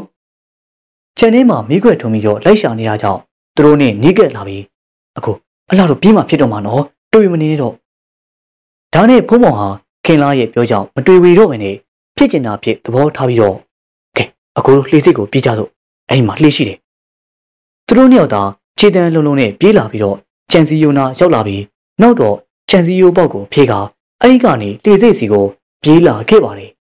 ဒီကမှာတော့ခင်နာရဲ့မိဘတွေကတွေ့သွားပြီးဟာဟိုမဟိုမခင်နာပြေးပြီခင်နာတို့ကလေစိတ်ကိုရောက်သွားပြီးလှေကိုပြင်းစလဲပဲဥတီလှော်ပြီးတော့နောက်မှာတော့လေဒီဇိုင်းကလည်းထက်ပြီးတော့လိုက်လာပါတယ်အကိုအဖေတို့နောက်မှလိုက်လာပြီဘာမှစိတ်မငြိနဲ့အကိုလွတ်အောင်လှော်မယ်ဖုံးမော်ဟာအားပေးရင်းနဲ့လှေကိုအာသွန်ကွန်ဆိုင်လွန်နေပြီး နောက်ကခင်လောင်းတို့အဖေကလှေကလည်းလှေကိုမှီဖို့အတွက်ပို့ပြီးတော့အားဆိုင်လှော်လာခဲ့ပါတယ်ဒီချိန်မှာတော့ဆိုးရတဲ့ကံကြမ္မာလိုပဲပြောရမလားပင်လယ်ပြင်ဟာမတည်ငြိမ်တော့ဘဲနဲ့လိုင်းလေတွေထန်လာခဲ့ပါတယ်အခုလိုင်းလေတွေထန်လာပြီနော်ဒုက္ခတော့ရောက်တော့မှာပဲမတက်နိုင်ဘူးကွာရင်ဆိုင်ရတော့မှာပဲဖုံးမောင်ဟာလိုင်းကိုတစ်ဖက်ကကြောက်ရခင်လအဖေတို့ရဲ့လှေကိုကြောက်ရနဲ့တအားလှုံနေခဲ့ပြီးနောက်တဲ့လိုင်းတလုံးအပုတ်မှာတော့ခင်လာရဲ့အော်ဒန်နဲ့တူ ခင်လာဟာလှိုင်းပုတ်ရာကိုမျောပါသွားခဲ့ပါတယ်သူတို့နှစ်ယောက်သာလှိုင်းလုံးတွေရဲ့ရိုက်ခဲမှုကြောင့်ပင်လေတွေမျောပါသွားပြီးတော့ဖုံးမောင်ရဲ့မိဘတွေရောခင်လာရဲ့မိဘတွေပါအားလုံးဝမ်းနဲ့ကြည်ကြွယ်ခဲ့ရပါတယ်ဇီဝင်ကြည်တွေလှိုင်းလေကြားထဲမှာချစ်သူနှစ်ယောက်အသက်ပြောက်ခဲ့ရပြီးအစိမ့်နေမလားမသိသူတို့ကိုသူတို့တည်တယ်ဆိုတော့တည်ရလားလေမစိုးနိုင်ပါဘူးသူတို့တွေတည်ဆုံးပြီးတလလောက်ကြာမှကန်ယိုတန်းတစ်လျှောက်လာတာတဲ့ညဘက်တွေဆိုတော့ခင်သားနဲ့ဖုံးမောင်တို့ရဲ့လှေလွန်နေတာကို အားလုံးကတွေ့ရပါတယ်သူတို့တွေဟာဝိညာဉ်ဘဝနဲ့ပေါင်းပဲကြတယ်လို့ရော်သားတွေကယူဆကြပြီးခင်လာဘက်ကမိဘတွေကသူ့သမီးကိုတရေတစီဖြစ်နေတယ်လို့ပြောတာမခံနိုင်တဲ့အခါမှာတော့ကြော်ပွဲတွေပေးကြစုံတိုးကြနဲ့ဖုံးမောင်ဘက်ကတော့ငွေမရှိတဲ့မျက်နှာမွေးမှုဘာမှမလုပ်ခဲ့ပါဘူးခင်လာဘက်ကဆွေမျိုးတွေကတော့ကြော်ပွဲတွေပေးခဲ့ပြီးအဲ့ဒီကြော်ပွဲပေးတဲ့သူတွေကလည်းသူတို့ကြော်ပွဲပေးပြီးရင်တော့ငါးတွေများများရတယ်လို့ပတ်ဝန်းကျင်ကိုပြောခဲ့ပါတယ် ဒီကမှာငါးများများလိုချင်တဲ့လူတွေကခင်လာကိုတင်ကြမြောက်ကြပြီးနှစ်ပေါင်းများစွာကြားတဲ့အခါမှာတော့ပင်နေလက်မိုင်းရှင်မဖြစ်နေလူတွေဟာတင်ကြမြောက်ကြပါတယ်အေးအဲ့ဒီပင်နေလက်မိုင်းရှင်မကသူ့ကိုပူဇော်ပတ်တဲ့လူတွေကိုစီးပွားတက်အောင်လုပ်ပြီးတော့သူမကြိုက်တဲ့သူတွေကိုအဖုတ်ပင်ဖြစ်အောင်လုပ်တယ်လို့လူတွေကပြောလာကြတာဒါဆိုကျမအခုလိုမျိုးအဖုတ်ပင်ထွက်လာကြတော့ရောရောသူရောသားတွေရဲ့အဆွဲလန်းယုံကြည်မှုအရာဆိုတော့ပင်လယ်လမိုင်းရှင်မမကြိုက်လို့ပေါ့နော် ဒါပေမဲ့အခုဆံဝင်ခေါ်ပြီးစိတ်ထုတ်တော့လေပျောက်သားပဲအဲ့ဒီလိုနဲ့ဒေါ်စာယူကပင်လယ်ပြင်းရဲ့အကြောင်းဝိညာဉ်တစီတွေရဲ့အကြောင်းကိုတညာလုံးပြောပြခဲ့ပြီးဒေါ်စာယူပြောတဲ့ထဲမှာကြောက်စရာကောင်းတဲ့ပင်လယ်တစီအကြောင်းလေးပါခဲ့ပြီးတော့ပိုက်ကလားနဲ့ပိတ်တာမာကြီးရဲ့အကြောင်းကခေါင်းပြက်တစ်စဲအကြောင်းလေးပါခဲ့ပါတယ်။နေရီတို့အုပ်စုဟာထူးထူးဆန်းဆန်းကိစ္စဆိုရင်နားထောင်ကြတာနဲ့ဒေါ်စာယူကြီးရဲ့ဝိညာဉ်တစ်စဲအကြောင်းကိုနားထောင်ရင်ကြောက်နေကြပါတယ်။ဒီညတော့တညာလုံးအိပ်ပဲစောင့်နေပြီး မိုးလင်းခါနီမှာတော့ကျွနေရီရဲ့မျက်နှာကအဖိုးပေမရှိတော့ပဲငကိုအတိုင်းကောင်းမွန်သွားခဲ့ပါတယ်။ရွှေနေဒီဟာအချင်မူတို့ဖြစ်နေတော့မှကြားခဲ့ရတဲ့စကားတွေနဲ့ပတ်သက်ပြီးတော့မေးမြန်းခဲ့ပါတယ်။ဒါနဲ့ညကဘာဖြစ်ကြလဲ။ပင်နေလက်မိုင်းရှင်မလို့ငါကြားလိုက်တယ်လို့ပဲ။ဩဒေါ်စာယူကသူကြားဖို့တဲ့အကြောင်းပြောပြနေတာတစီတရေတွေရောဝိညာဉ်တွေရောပင်နေလက်မိုင်းရှင်မတွေရောစုံနေတာပဲ။အေးဟဲတနာတို့လည်းအဲ့ဒီတော်ကြီးပြောပြတာနားထောင်ရင်းနဲ့ကြောက်လိုက်တာ။ နဒီလေကြားတဲ့ချက်မကြားတဲ့ချက်ပဲ။အဲ့ဒီလိုပြောနေတဲ့အချိန်မှာတာဝန်ခံမင်းကလေးရောက်လာပြီးတော့ဧည့်သည်ရောက်နေတဲ့အကြောင်းပြောလာပါတယ်။မနေရီတို့အုပ်စုကိုတွေ့ကျင်လို့တဲ့အပြင်မှာဧည့်သည်ရောက်နေပါတယ်။ဒီခါမှာတော့မနေရီတို့အားလုံးအပြင်ဘက်ကိုထွက်သွားလိုက်တော့ဆရာဝန်သားတို့အုပ်စုကိုတွေ့ရပြီ။အော်ဆရာတို့ပါလား။ဟုတ်တယ်။နေရီတို့အုပ်စုကမနေ့စာစားဖို့လာခေါ်တာလေ။ဒီလိုနဲ့သူတို့တွေဟာမနေ့စာအတူတူစားပြီးတော့အဲ့ဒီမနေ့စာစားပွဲမှာနေရီက ရွှေနေရီရဲ့အကြောင်းကိုပြောပြလိုက်ပါတယ်။ညတော့ကရွှေနေရီလေအလာကြီးတွေထပြီးတော့မျက်နှာတစ်ခုလုံးအဖုတ်ပွင့်နေထွက်လို့ဆရာဝန်တော်ခေါ်လိုက်ရတယ်။ဒါတော့မနေ့ကကျွန်တော်စီကိုဘာကြောင့်ဖုန်းမဆက်တာလဲဗျာ။ဖုန်းနံပါတ်လေးပေးထားရတာနဲ့ညတော်တော်မိုးချုပ်နေလို့ဆရာကိုအားနာလို့ပါ။အားနာစရာမလိုပါဘူးမနေ့ရေ။ဒါနဲ့ဆရာဝန်ကိုဘယ်သူခေါ်ပေးတာလဲ။အော်နေရီတို့စီကအခန်းဆောင်တဲ့အတော်ကြီးဒေါ်စာယူလေ။ကဲနောက်ဆိုရင်တော့ဘာပဲဖြစ်ဖြစ်ကျွန်တော်တို့စီကိုအကြောင်းကြားနော်။ဟုတ်ကဲ့ပါဆရာ။ ကဲတောင်းနေရေကူးကြမယ်။အချိန်ဟာမနေ့စင်နာရီရှိပြီးတော့နေရီကအားလုံးကိုလှမ်းပြီးပြောလိုက်ပါတယ်။ကဲကဲအားလုံးပဲရေသွားကူးရအောင်ဟဲ့။ဒီနေ့မိုးတော်ရေမကူးချင်ဘူး။ဟုတ်တယ်ຫນွေလည်းရေမကူးချင်ဘူး။ຫນွေရီကူကမနေ့ကရေထဲမှာခြေတော်အဆွဲခင်ရလို့ကြောက်နေပုံရှာပြီးဒီတော့အခုမှနေကောင်းကစားရွှေနေတီကလည်းနေရီကတော့ဒီနေ့မှနေကောင်းတာဆိုတော့ကန်းဆက်ကပဲထန်ကြီးတော့မယ်။မြက်တန်တာမြင့်မြက်တင်ကြီးစက်မြင့်ကြီးတို့က နေရီနောက်ကလိုက်သွားပြီးတော့ပင်လယ်ပြင်မှာဟိုဟိုတီတီကူးနေကြပြီးခဏကြာတော့စမ်းမြင့်ကြီးဟာရေထဲကနေကန်းဆက်ကိုတက်လာပြီးတော့မိုးသူစာတို့နားမှာခြေပြေးလက်ပြေးထန်လိုက်ပါတယ်ဒီနေ့ရေကူးရတာအဆင်မပြေဘူးဟာဘာဖြစ်လို့လဲရေကူးရင်းနဲ့လေမျက်စိတွေမှာအမြင်တွေဝေဝါးလာတယ်နောက်ပြီးတော့ဒေါစာယူပြောတဲ့ပင်လယ်လမိုင်းရှင်မဆိုတဲ့တန်တွေကြားနေရတယ်စမ်းမြင့်ကြီးနေရတော့ဖောက်လာပြီနော်ယောဂပြန်ပြီးထက်လာပြီနဲ့တူတယ်အေးဟဲနင်းတို့ပြောလေပြောချင်ကြပဲ မစိတ်တရားဘယ်လိုဖြစ်မှန်းကိုမသိဘူးရေကူးကျင်တဲ့စိတ်ကိုမရှိဘူးအရေးတယ်နင်းရလေတမောက်ငါတို့တောင်ရင်မကူလို့မနေ့ကပွားစီပွားစီလုပ်နေတာမင်းကပါရင်မကူချင်ဘူးဆိုတော့တော်ကြလေကိုကဒေါသတွေထွက်နေအောင်ပဲဘာပဲဖြစ်ဖြစ်မတက်နိုင်ပါငါစိတ်တွေအယံကိုလေးနေတာသူတို့တွေစကားပြောနေကြတဲ့အချိန်မှာယောက်ျားလေးတွေရေကူးတဲ့ဘက်ကစူးစူးညံ့ညံ့တန်တွေကြားရပြီးတော့နှွေဟေကိုရဲ့မိုးတူစာရဲ့ရွှေနေတရဲ့အရှိဘက်ကိုပြေးသွားခဲ့ပါတယ်စမ်းမြင့်ကြီးကတော့ရေကူးဝစ်စုံနဲ့ဖြစ်နေတာကြောင့် အဲ့ဒီနားမှာပဲနေခဲ့ပြီးလူတယောက်ကိုထမ်းလာတာတွေ့လိုက်ပါတယ်ကြည့်လိုက်တော့ဟမ်ဆရာကိုနာပါလားဒါဆိုထင်လာတဲ့သူကိုကြည့်ကြစမ်းမောလုံးဝနိုင်လို့ထင်တာပဲဟင်ဟုတ်တယ်လုံးဝနိုင်ဘလို့ဘလို့ဖြစ်ကြလဲဒီမှာဟေးသူကြွတ်တက်ပြီးတော့တတိယနေလို့တယောက်တစ်ပေါက်နဲ့ပြောကြဆိုကြဖြစ်နေပြီးလုံးဝနိုင်ကိုနှိမ့်နေပေးကြပြီးတော့ခေါင်းကိုမှုတ်တဲ့သူကမှုတ်နေခြေမချိုးတဲ့သူကချိုးခြေသလုံးကိုနှိမ့်တဲ့သူကနှိမ့်အားလုံးအလုရှုပ်လို့သွားပါတယ် လုံးဝနိုင်လုံးဝနိုင်အတန်ကြာတဲ့ခါမှာတော့လုံးဝနိုင်ရဲ့ခန္ဓာကိုယ်ကလူးလွန်းလို့လာခဲ့ပါတယ်ဟောတတိယပြီတတိယပြီအာကျွန်တော်ဘယ်ကိုရောက်နေရလဲလုံးဝနိုင်ရဆရာတော့မင်းကိုပြစ်လိုက်ရပြီဆိုပြီးတော့ထင်နေတာကွာတော်ပါသေးရဲ့ကျွန်တော်ကိုကျွန်တော်လေးဘယ်လိုဖြစ်မှမသိပါဘူးဆရာရဲ့မင်းပြောတော့ကအင်းရကံပေါ်မှာအလျားလိုက်ကူးခဲ့တာဆိုရေကူးချင်မြန်ဆိုမင်းပြောတော့ငါလေးယုံကြည်တာပေါ့ကွာကျွန်တော်ပြောတာလေအမှန်ပါဆရာ ကျွန်တော်ရေကူးရင်းနဲ့ကြွတ်တက်ပြီးတော့စက်မကူးနိုင်မင်းနဲ့မြုံသွားတာကျွန်တော်ကလုံးဝနိုင်ရင်ငုံနေတယ်ထင်တာဗျဟုတ်တယ်ကျွန်တော်ကတော့သူရေကူးကျွတ်နေလို့သိထားလို့စိတ်မပူဘူးလေဟုတ်တယ်ဗျ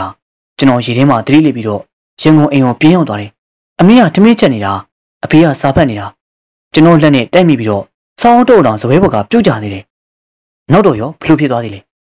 ကျွန်တော်နားထဲမှာလုံးဝနိုင်လို့ခေါ်တဲ့တန်တွေစူညံနေအောင်ကြားလိုက်တာပဲ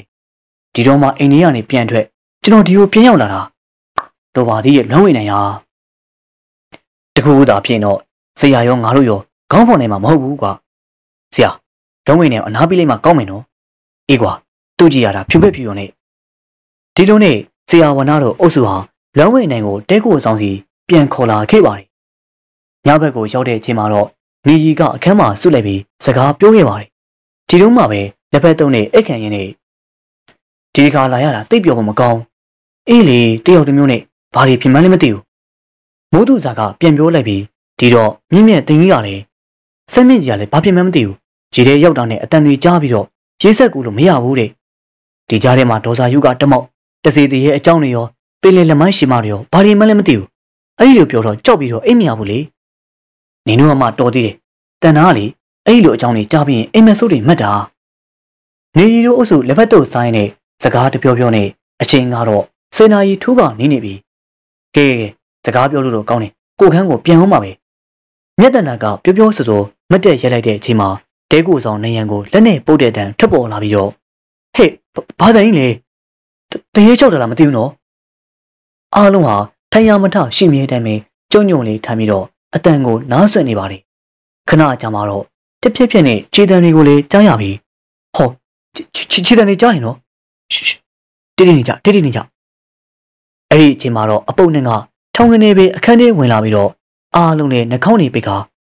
ဟာအပုပ်နဲ့လည်းနင်လိုက်တာလွန်မာရောပဲအေးဟေတော်တော်ပြင်းတာပဲမိမိပြီးတော့အပြုံချောင်းကြည့်အောင်မကြည့်ရပါဘူးတော့ကြဒေါ်စာယူပြောတဲ့ခေါင်းပြက်တစ်စေးဆိုရင်ဘယ်နဲ့လုံးမလဲမကြည့်ရတဲ့သူနေခဲ့ကြည်ရတဲ့သူလိုက်ခဲ့ကြလူဟီကိုမြက်တနာမြင့်မြတ်တင်ကြီးတို့ကနေကြီးနောက်ကိုလိုက်ပြီးတော့ကြည့်ကြမယ်အုပ်စုရပါကဲ နင်တို့မကြည့်ရတဲ့အုပ်စုကနေကြီးအခန်းထဲမှာနေခဲ့ငါတို့ကတော့မြင့်မြတ်တင်ကြီးအခန်းဘက်ကနေတွားပြီးကြည့်မယ်မနေကြည့်ပြီးရနဲ့မြင့်မြတ်ပြက်လာနော်ဟောတရေတွားပြီးကြည့်ပါလေဆိုမှရုပ်ရှင်မင်းသားမင်းသမီးမှမဟုတ်တာဘာလို့ကြာကြီးကြည့်ရမှာလဲမဟုတ်ပါဘူးနဒီတို့ကကြောက်တယ်လို့ပါအေးပါဟဲ့နေရီတို့အုပ်စုဟာမြက်တင်ကြီးရဲ့အခန်းဘက်ကိုရောက်လာပြီးတော့မြင့်မြတ်ရဲ့အခန်းကအစုံဆုံးခန်းဖြစ်တာကြောင့်တဲကိုဆောင်ရဲ့နောက်ဘက်ချမ်းမှာရှိတဲ့ပတ်ဝန်းကျင်ကိုပြတင်းကနေကြည့်ရင်တော့ကောင်းကောင်းကြီးကိုမြင်ရပါတယ် ဆွဆွဲငင်ငင်ဦးလိုက်တဲ့ခွေးဦးတန်ကိုကြားလိုက်ရပြီးဒီလိုညအခါမှာဆွဆွဲငင်ငင်ဦးလိုက်တဲ့အတန်ကြောင့်ကြောက်စိတ်တွေဝင်ကချင်းတပူပူဖြစ်ခဲ့ပါတယ်မနီခွေးဦးတန်ရကြောက်စိန်တော့ဟုတ်ပါမနီရဲ့နေတော်ကြက်သိန်းနေထလာပြီမြင့်မြတ်တော့မကြည့်ရတော့ပြန်တော့မယ်နော်ပြန်တောက်ထဲပြန်ရမှာနော်အပြန်လမ်းမှာတရေမတွေ့ပြီးတော့ဖြစ်ချောင်းတယ်မလို့လို့မလဲတော်ပြီတော်ပြီမပြန်တော့မနေ့ရီတို့အုပ်စုကတောင်တောင်အေးကြည့်နေပြီးလာဆန်းရဲ့ဖြစ်တာကြောင့်လောင်မင်းရဲ့အလင်းက မလင်းတချို့လင်းတဲ့ချို့နဲ့ဒီချိန်မှာတော့တေးကိုခန်းရဲ့အနောက်ဘက်အမောင်တွေကအရေးတခုတရွေ့ရွေ့တက်လာပြီးဟမ်ခုမဟုတ်မအရေးတခုနေကြီးကခက်တိုးတိုးလေးပြောလိုက်ပါတယ်အမောင်ရိတ်ခလန်းလန်းဆိုတော့တရန်ကဝတ်တဝါနဲ့လေအနှုတ်မှာဖာလာချထားတဲ့သပင်တွေဟာပြန့်လွင့်လို့လည်းနေပါတယ်သပင်ဖာလာနေပါလားဒါဆိုတော့သပင်ဖာလာနဲ့တရင်မှဖြစ်ရမယ်အဲ့ဒီတစီမှာဘယ်ကိုတွန်းနေလဲကြည်စမ်းမအောင်ကြည်စမ်းကြည်စမ်းတရွရွနဲ့တွန်းနေတာ အဲ့ဒီအချိန်မှာဒီတစ်ချက်တက်ခတ်သွားပုံရပြီးတော့သပင်တွေရောအဝတ်စားတွေပါတက်လွင်းလွင်းနေသပင်ဖာလာနဲ့တစီမာကလေတိုက်လို့ထင်ပါရဲ့တရင်တရံနဲ့တွန်းနေတာပါဟင်အိုးမင်းနန်စီကိုတွန်းနေတာပဲနေနေမြင်ရလားနေရတော့တိတ်မကြည့်ရတော့ကြည့်ပါရဲ့ဘာပဲဖြစ်ဖြစ်မြင်မှုတွေရှိတာပေါ့မြင်မြင်လဲကြည်နေကြောက်လာပြီဟောအုံးမင်းစုတန်တွေကတရေကြီးကောင်ထွက်လာပြီတော်တော်မကြည့်ရတော့မြင်မြက်ကစက်မကြည့်တော့ပဲ မျက်နှာကိုလက်နှစ်ဖက်နဲ့အုပ်ထားပြီးဒီချိန်မှာအရင်တစ်ခုစလုံးကအုံးမင်းနန်းစိတ်ကိုတရွေ့ရွှေနဲ့တိုးဝင်လို့တော့ပါတယ်အတန်ကြောင်စိတ်ကြည့်နေပြီးနောက်ထပ်ဘာအရေးရောင်းမှမတွေ့တဲ့အခါမှာတော့သူတို့အုပ်စုလည်းအခန်းစီကိုပြန်လာခဲ့ပါတယ်ဟဲ့ငါတို့တွေတွေ့ခဲ့တယ်နော်ဘာတွေတွေ့ရအောင်တရေတွေပေါ့ငကိုကားမှကြောက်တဲ့မိုးသူစာပြန်ပြီးတော့ပြောလိုက်ပါတယ်ဒါနဲ့ဆက်မြင့်ကြီးကကြောက်ပြီးမဲ့ဆက်ဆက်ဆူဆူနဲ့မနီ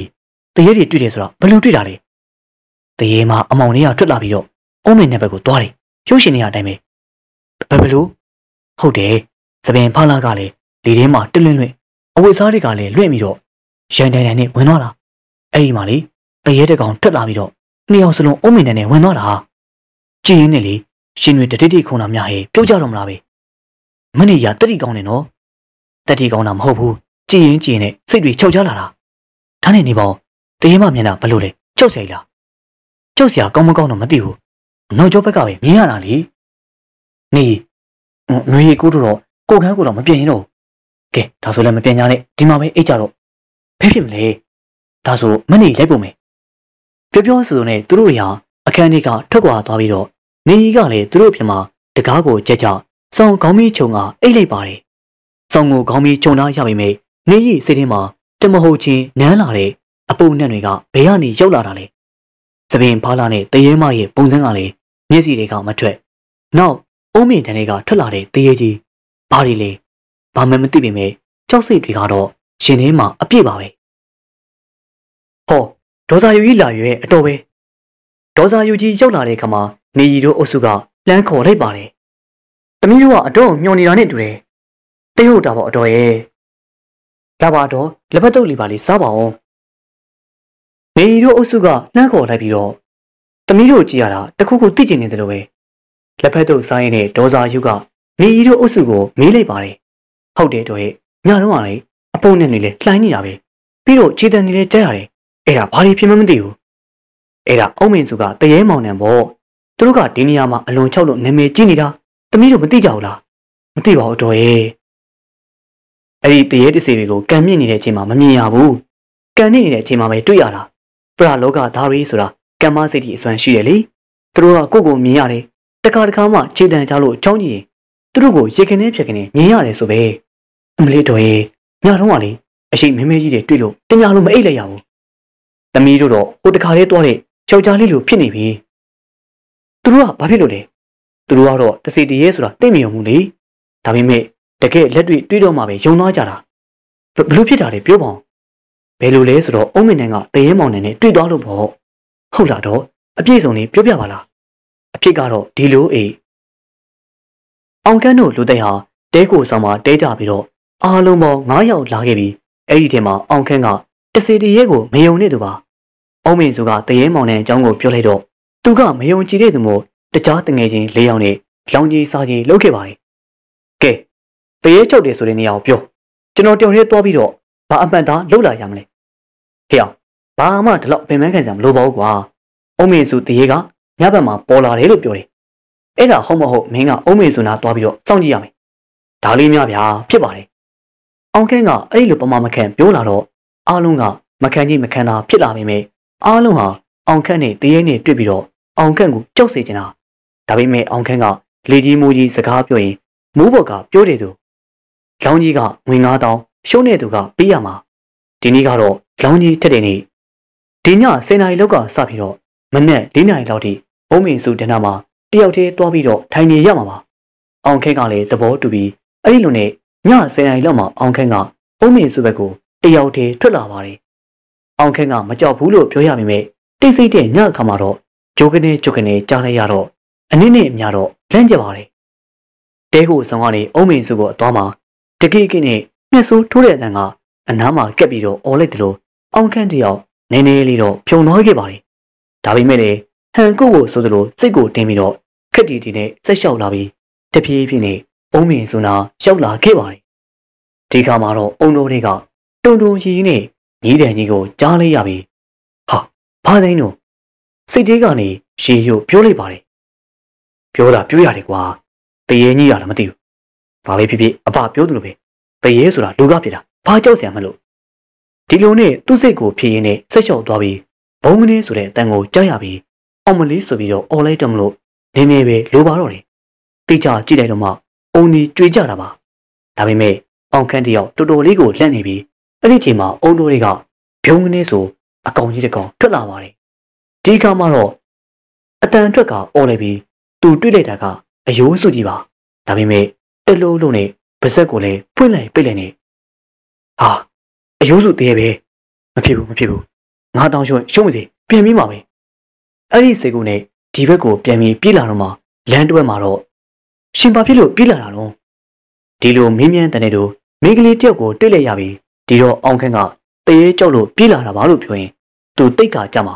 နောက်ပြီးတော့အဖော်တယောက်နဲ့တွေ့တာနဲ့ခုနကထိတ်လန့်တာတွေကလည်းတက်တာသွားသလိုခံစားရပါတယ်အဲ့ဒါနဲ့ပဲအောင်ခန်းကဘာ မှမဖြစ်ပါဘူးညီမကဒီချိန်ကြီးဘာလုပ်နေရလဲဒီလိုမေးလိုက်တော့သူကကျမချစ်သူလာမယ်ဆိုလို့စောင့်နေတာပါဒါပေမဲ့ဒီမိမပြောတဲ့အတန်ကအတက်တက်နဲ့နှကောင်းတန်လေးပါနေပြီးတော့ချက်သိန်းတွေတပြင်းပြင်းထပြီးတော့တင်ကမကင်ဖြစ်လာပါတယ်ပါလာတဲ့တမီးနဲ့သူမမျက်နှာကြည့်လိုက်တဲ့အခါမှာတော့အသေးနှလုံးတွေလွတ်ဆွင်သားမတက်ဖြစ်သွားပြီးအောင်မလေးဆိုပြီးတော့တဲကိုဆောင်မဲ့အတကုံပြေးလာပါတယ်သူတွေ့လိုက်ရတဲ့မိန်းမကတော့ ပိန်လီချုပ်ကန်နေတဲ့သပင်တွေဟာကျွတ်တို့ကျတဲ့အသားရည်ကပြာနန်းနဲ့ကလမထက်တောင်ပူပါသေးတယ်ကျွတ်တို့ကျတဲ့သပင်ကိုဖားလာချမျက်နာမှာလည်းပကွက်ကြားလိုးပြီးတော့ခုံရမ်းပန်းနေဝေးနေအောင်ပန်ထားပါတယ်မျက်နာကြီးကလည်းမိမေရွရွနဲ့ရှုပ်ဆိုးလိုက်တဲ့အဖြစ်တကယ်ကိုနှလုံးတုံစရာပါပြီးတော့သူကပေါ်ပြီးတော့ပြောလိုက်ပြန်ပါတယ်အမကအုံးမေစုမှာနေတာတဲ့အောက်ခန်းကတော့လုံးဝလှည့်မကြည့်တော့ပဲ ဖနှောင်းနဲ့တင်မှာတသားလေးကြောက်အောင်ပြေးလာရပြီးအဲ့ဒီတဲကအောက်ခန်းတယောက်ဘသူနဲ့မှလောင်ကြီးမထက်တော့ပါဘူးကိုအောင်ခန်းနဲ့တွေ့တဲ့တဲကဘယ်ဟာသေးတွေလဲအဲ့ဒါအုံးမေစုကတရေမောင်နဲ့မော့သူတို့ကပုံစံမျိုးမျိုးနဲ့ချုပ်လန့်နေလေဟုတ်တယ်နော်အရင်ကြောက်လိုက်ရှုပ်ဖြစ်သွားနိုင်တယ်အမလီသူတို့ချုပ်ပုံကလေတော်တော်ကိုကြောက်ဖို့ကောင်းတာတချို့လူတွေဆိုရင်ကြောက်တာကပုံစံတစ်မျိုးဘလို့ကြောက်တာလဲတော်ရဲ့အဲ့ဒီတည်းမှာသူ့ကိုယ်သူလိုလိုလိုဘာလိုလိုနဲ့ ချစ်သူကိုစောင့်နေတာလို့ပြောတာသူ့ချစ်သူဘယ်သူလဲဆိုတော့တင်းញိုင်းဆောင်တာတီကြီးလို့ပြောပြီးတော့ချုပ်တာအမလီဒါဆိုအချုပ်ခင်ရတဲ့သူကတော့အရန်ကိုကြောက်သွားမှာပဲဒါပေါ့သူ့မျက်နှာမှာတနခါပကွက်ကြားကြီးကလက်မို့ကောင်းနေအတန်အဲ့အကြီးနဲ့ပြောလိုက်တော့ဘာပြောကောင်းမလဲလိပ်ပြောင်လင်းမတဲ့ထပြေးရတာပေါ့ဒါဆိုရင်အုံးမင်ဆိုတစင်မောင်နဲ့တော်တော်ကြောက်ဖို့ကောင်းတာပေါ့နော်ဒီအကြောင်းဆရာဝန်သားတို့လည်းသိအောင်ပြောပြထားရမယ်ပြောတာပြောတာအကောင်းဆုံးကတော့ညဘက်ဘဲမှမထွက်တာအကောင်းဆုံးပဲ ဆရာကဝန်သားတို့အုပ်စုနဲ့နေရီတို့အုပ်စုနေ့လေစာအတူတူစားကြပြီးနေရီဟာငကိုလေးကအကြောင်းအရာတစ်ခုရရင်ဆက်စုတရင်ဖြတ်ဝေတတာဖြစ်ပြီးတော့သူ့ကိုဂျင်းမုံတရင်စာလို့မကြားတဲ့ကြားနာမည်ဝက်ပြီးတော့ခေါ်ခံရသူပါဆရာတို့ညအကြောင်းပြောရအောင်မယ်။อืมဘာကြောင့်လဲမနေရဲ့။ညတော့ကအုံးမင်ဆိုတစီမောင်နဲ့အောင်တွေ့လိုက်ရလို့။ဘာရဲ့။အုံးမင်ဆိုတစီမောင်နဲ့ဟုတ်လား။ဟုတ်တယ်ဆရာရဲ့။တစီမအုံးမင်ဆိုတဲ့ကိုတရွေ့ရွေ့တွားနေတာ။အုံးမင်ဆိုနားလေရောက်ရော အဲ့ဒီအမောင်လေးကတစီတကောင်ထွက်လာပြီးတော့အုံးမင်ဆိုတဲ့ဝင်သွားတယ်လေ။တစီတရဲ့မြင်ရတော့မကြောက်ကြဘူးလား။နေရီတို့လည်းကြောက်တာပေါ့ရှင်။ဓာတ်တွေနေပေါင်းဗျ။အဲ့ဒီတရဲ့တစီကိုဘလို့လုပ်ပြီးတော့အုံးမင်ဆိုတစီမောင်နဲ့လို့ပြောနေတာလေ။အစားတော့ဘယ်သိမလဲဆရာရဲ့နေရီတို့နဲ့တွေ့တာကမိမတဲ့အရှိမင်းနဲ့ယောက်ျားတဲ့အရှိမင်းကိုတွေ့တာအခန်းဆောင်နဲ့ဒေါ်စာယူကြီးကိုမေးလိုက်တော့မှအုံးမင်းစုကတစီမောင်နဲ့ဖြစ်နေမှန်းသိတာ။အော်ဒေါ်စာယူကအဲ့လိုပြောတာလား။ဟုတ်တယ်ဆရာရဲ့။ ဒီတောင်ပြောလိုက်သေးတယ်။ညဘက်မထွက်နေတဲ့အဲ့ဒီမကောင်းဆိုးရည်နဲ့တွေ့တဲ့တဲ့ဟင်ဟုတ်လား။နေရီတို့တွေ့တာကရိုးရိုးရဲ့တချို့ကိုချောက်တာကအယိုးစုကြီးကဗဆက်တလွတ်လွတ်နေတဲ့ငါနဲ့တွေ့တော့တော့လေခဲလုံးနဲ့ကုတ်ပြလိုက်အောင်ပါ။ကြုံလွမ်းမှုကတကယ်သူရေကောင်တယောက်လိုပြောလိုက်ပါတယ်ဟေးကောင်တရေနဲ့တွေ့ပါတယ်ဆိုမှမင်းကဘယ်ဟာခဲလုံးနဲ့ပေါက်မှာလဲကွာမင်းခဲလုံးရှာနေတော့နိတရေကလေဘင်းညင်တိုင်းဘလို့လုံးလဲအေးမင်းပြောတာလေဟုတ်တာပဲတောင်းမြင်မှာဘယ်ဟာခဲရမှာလဲကွာ ဒါဆိုလည်းနေဖန်တော့ကွာအမှန်တိုင်းဝင်ခင်းရတယ်အဲ့ကြောက်တော့တိတ်မကောင်းဘူးဗျကျွန်တော်ဒီလိုလာတာသုံးနှစ်ကရှိပြီဗျဒါပေမဲ့အုံးမေဆိုတစီမောင်းတဲ့အကြောင်းတော့မကြောက်ဘူးပါဘူးဆရာဘယ်ကြောက်ဖို့မလဲတဲကိုဆောင်မှာတဲပြီးတော့အိတ်မေဒီကုမေဒီတော့ဘာမှမတွေ့တော့မမေးဖြစ်ဘူးလေအဲ့ဒါကြောင့်ဘာသတင်းမှမကြားတာပေါ့ဟုတ်ပါတယ်မနေ့ပြောသလိုပဲဘာမှဆက်စုဖို့ချောင်းကြီးဖို့အချိန်မရဘူးလေဗျာဆရာနော်နေကြီးကိုဆက်စုတယ်လို့ပြောချင်တာလားအော်အဲ့အဲ့ဒီလိုလည်းမဟုတ်ပါဘူး လောဝိနိုင်တို့အုပ်စုမနေ့ကြီးကိုစနောက်ပြီးတော့ရီမောလို့နေပါတယ်ဒီနေ့အတွက်ထမင်းဝိုင်းလေးကစုပ်ပြေးသွားပြီးပျော်ရွှင်စွာရီမောနေကြတဲ့အချိန်ထမင်းဝိုင်းဘက်ကိုမိမလာလေးတယောက်မော်တဲ့ပုံစံမျိုးနဲ့လှုပ်တည်လှုပ်တဲ့ရှောက်လန်းလို့လာခဲ့ပါတယ်လောင်းဝိနိုင်တို့အုပ်စုကအဲ့ဒီကောင်မလေးကိုငေးကြည့်နေပြီးသပင်ကောက်ကောက်လေးကိုဖားရချပြီးတော့နှကန်းကြီးကိုရဲအောင်ဆူလာပြီးအဝါရောင်မှာခဲရောင်အပွင့်တိတိလေးပါတဲ့ blouse အင်ကြီးလေးကိုဝတ်ထားပြီးတော့စကတ်အဝါရောင်လေးနဲ့ တောက်ဖနက်ကခက်မြင့်မြင့်ကောင်မလေးကမင်းကိုခက်ပြီးတော့လာတာနဲ့တူတယ်ကွာဖြစ်နိုင်တယ်ဒါပေမဲ့သပင်ဖားလာနေဆိုတော့မန်းနေတို့ပြောတဲ့အုံးမင်းဆိုတစီနာလာမသိဘူးနော်တူတူပြောပါကွာငါစီလာနေတဲ့သူအဲ့လိုမပြောနဲ့ကြားသွားရင်မကောင်းဘူးကွာ။အော်ကောင်မလေးကမင်းကိုပြုံးပြနေနော်ပြန်ပြုံးပြလိုက်။လောင်းမိတ်နိုင်တို့အုပ်စုပြောရင်းနဲ့ကောင်မလေးရဲ့အပြုံးမှာနေမျောပြီးဗက်ဆက်ဟောင်းလောင်းနဲ့ကောင်မလေးကရောက်လာပြီးတော့ဟယ်လိုနေကြီးဟေး ရိုးစီလာတိတ်ဟုတ်တာပါတငယ်ချင်းရဲ့နင်တို့အုပ်စုရေကူးနေတာမနေ့တည်းကမြင်နေရေကူးနေလို့နောက်မှခေါ်မယ်ဆိုပြီးတော့နင်တို့ဘယ်ချိန်ပြန်သွားမှမသိလို့အခုတော့ဓမင်းစားနေရတွေ့လို့ဝင်လာခဲ့တာလေအေးရဲ့ရိုးစီရဲ့နင့်ကိုတွေ့ရတာဝမ်းသာလိုက်တာဩဒါနဲ့မိတ်ဆက်ပြအောင်မယ်ဒီကဆရာငါတို့ကုမ္ပဏီရဲ့လက်ထောက်စီမံခန့်ခွဲရေးမှူးဆရာဦးနာသူကတော့စိန်ဖလိုဖီနာကျောင်းမာတွေကတငယ်ချင်းဟိုတက္ကသိုလ်မှာသူကအီမေဂျာနဲ့ကျောင်းပြီးသွားပြီလေတွေ့ရတာဝမ်းသာပါတယ်ဆရာဟုတ်ကဲ့ ကျွန်တော်ကလည်းမရုပ်စီနဲ့မိတ်ဆွေပြရတာဝမ်းသာပါတယ်မနီကျွန်တော်တို့နဲ့လည်းမိတ်ဆက်ပေးအောင်လေဗျာဟောဟုတ်တာပဲ तू ကလောင်းဝင်းနိုင် तू ကကြောညွတ်ခိုင် तू ကကြောလန်းမိုးအားလုံးကနေရီတို့လိုပဲကုမ္ပဏီဝန်ထမ်းတွေလေဟုတ်ကဲ့တွေ့ရတာဝမ်းသာပါတယ်ရှင်တို့ကနေတငယ်ချင်းဆိုတော့မနေရီလိုပဲကျမကိုခင်မိမှာနော်အဲဟုတ်ကဲ့ဟိုကျွန်တော်တို့ကလည်းခင်းနေပါတယ်ဗျပြင်းကြီးနေတဲ့လောင်းဝင်းနိုင်တို့တတိုက်မျက်လုံးတွေကျလာပြီးရှာလေးလေးတွက်လာပါတယ်။ तू ကမိုးတူစား तू ကမြင့်မြတ်တင်ကြီး तू ကတော့ຫນွေကိုတဲ့။အဲ့ဒီလိုနဲ့မင်းကလေးအုပ်စုနဲ့လေမိတ်ဆက်ပေးလိုက်ပြီးခဏလေးပဲပွဲကြလို့တော့ပါတယ်။ကဲရိုစီဘာစားမလဲပြော။ရောက်ပါတယ်စားလာခဲ့။ဒါဆိုလေလက်ဖက်ရည်တောက်လေ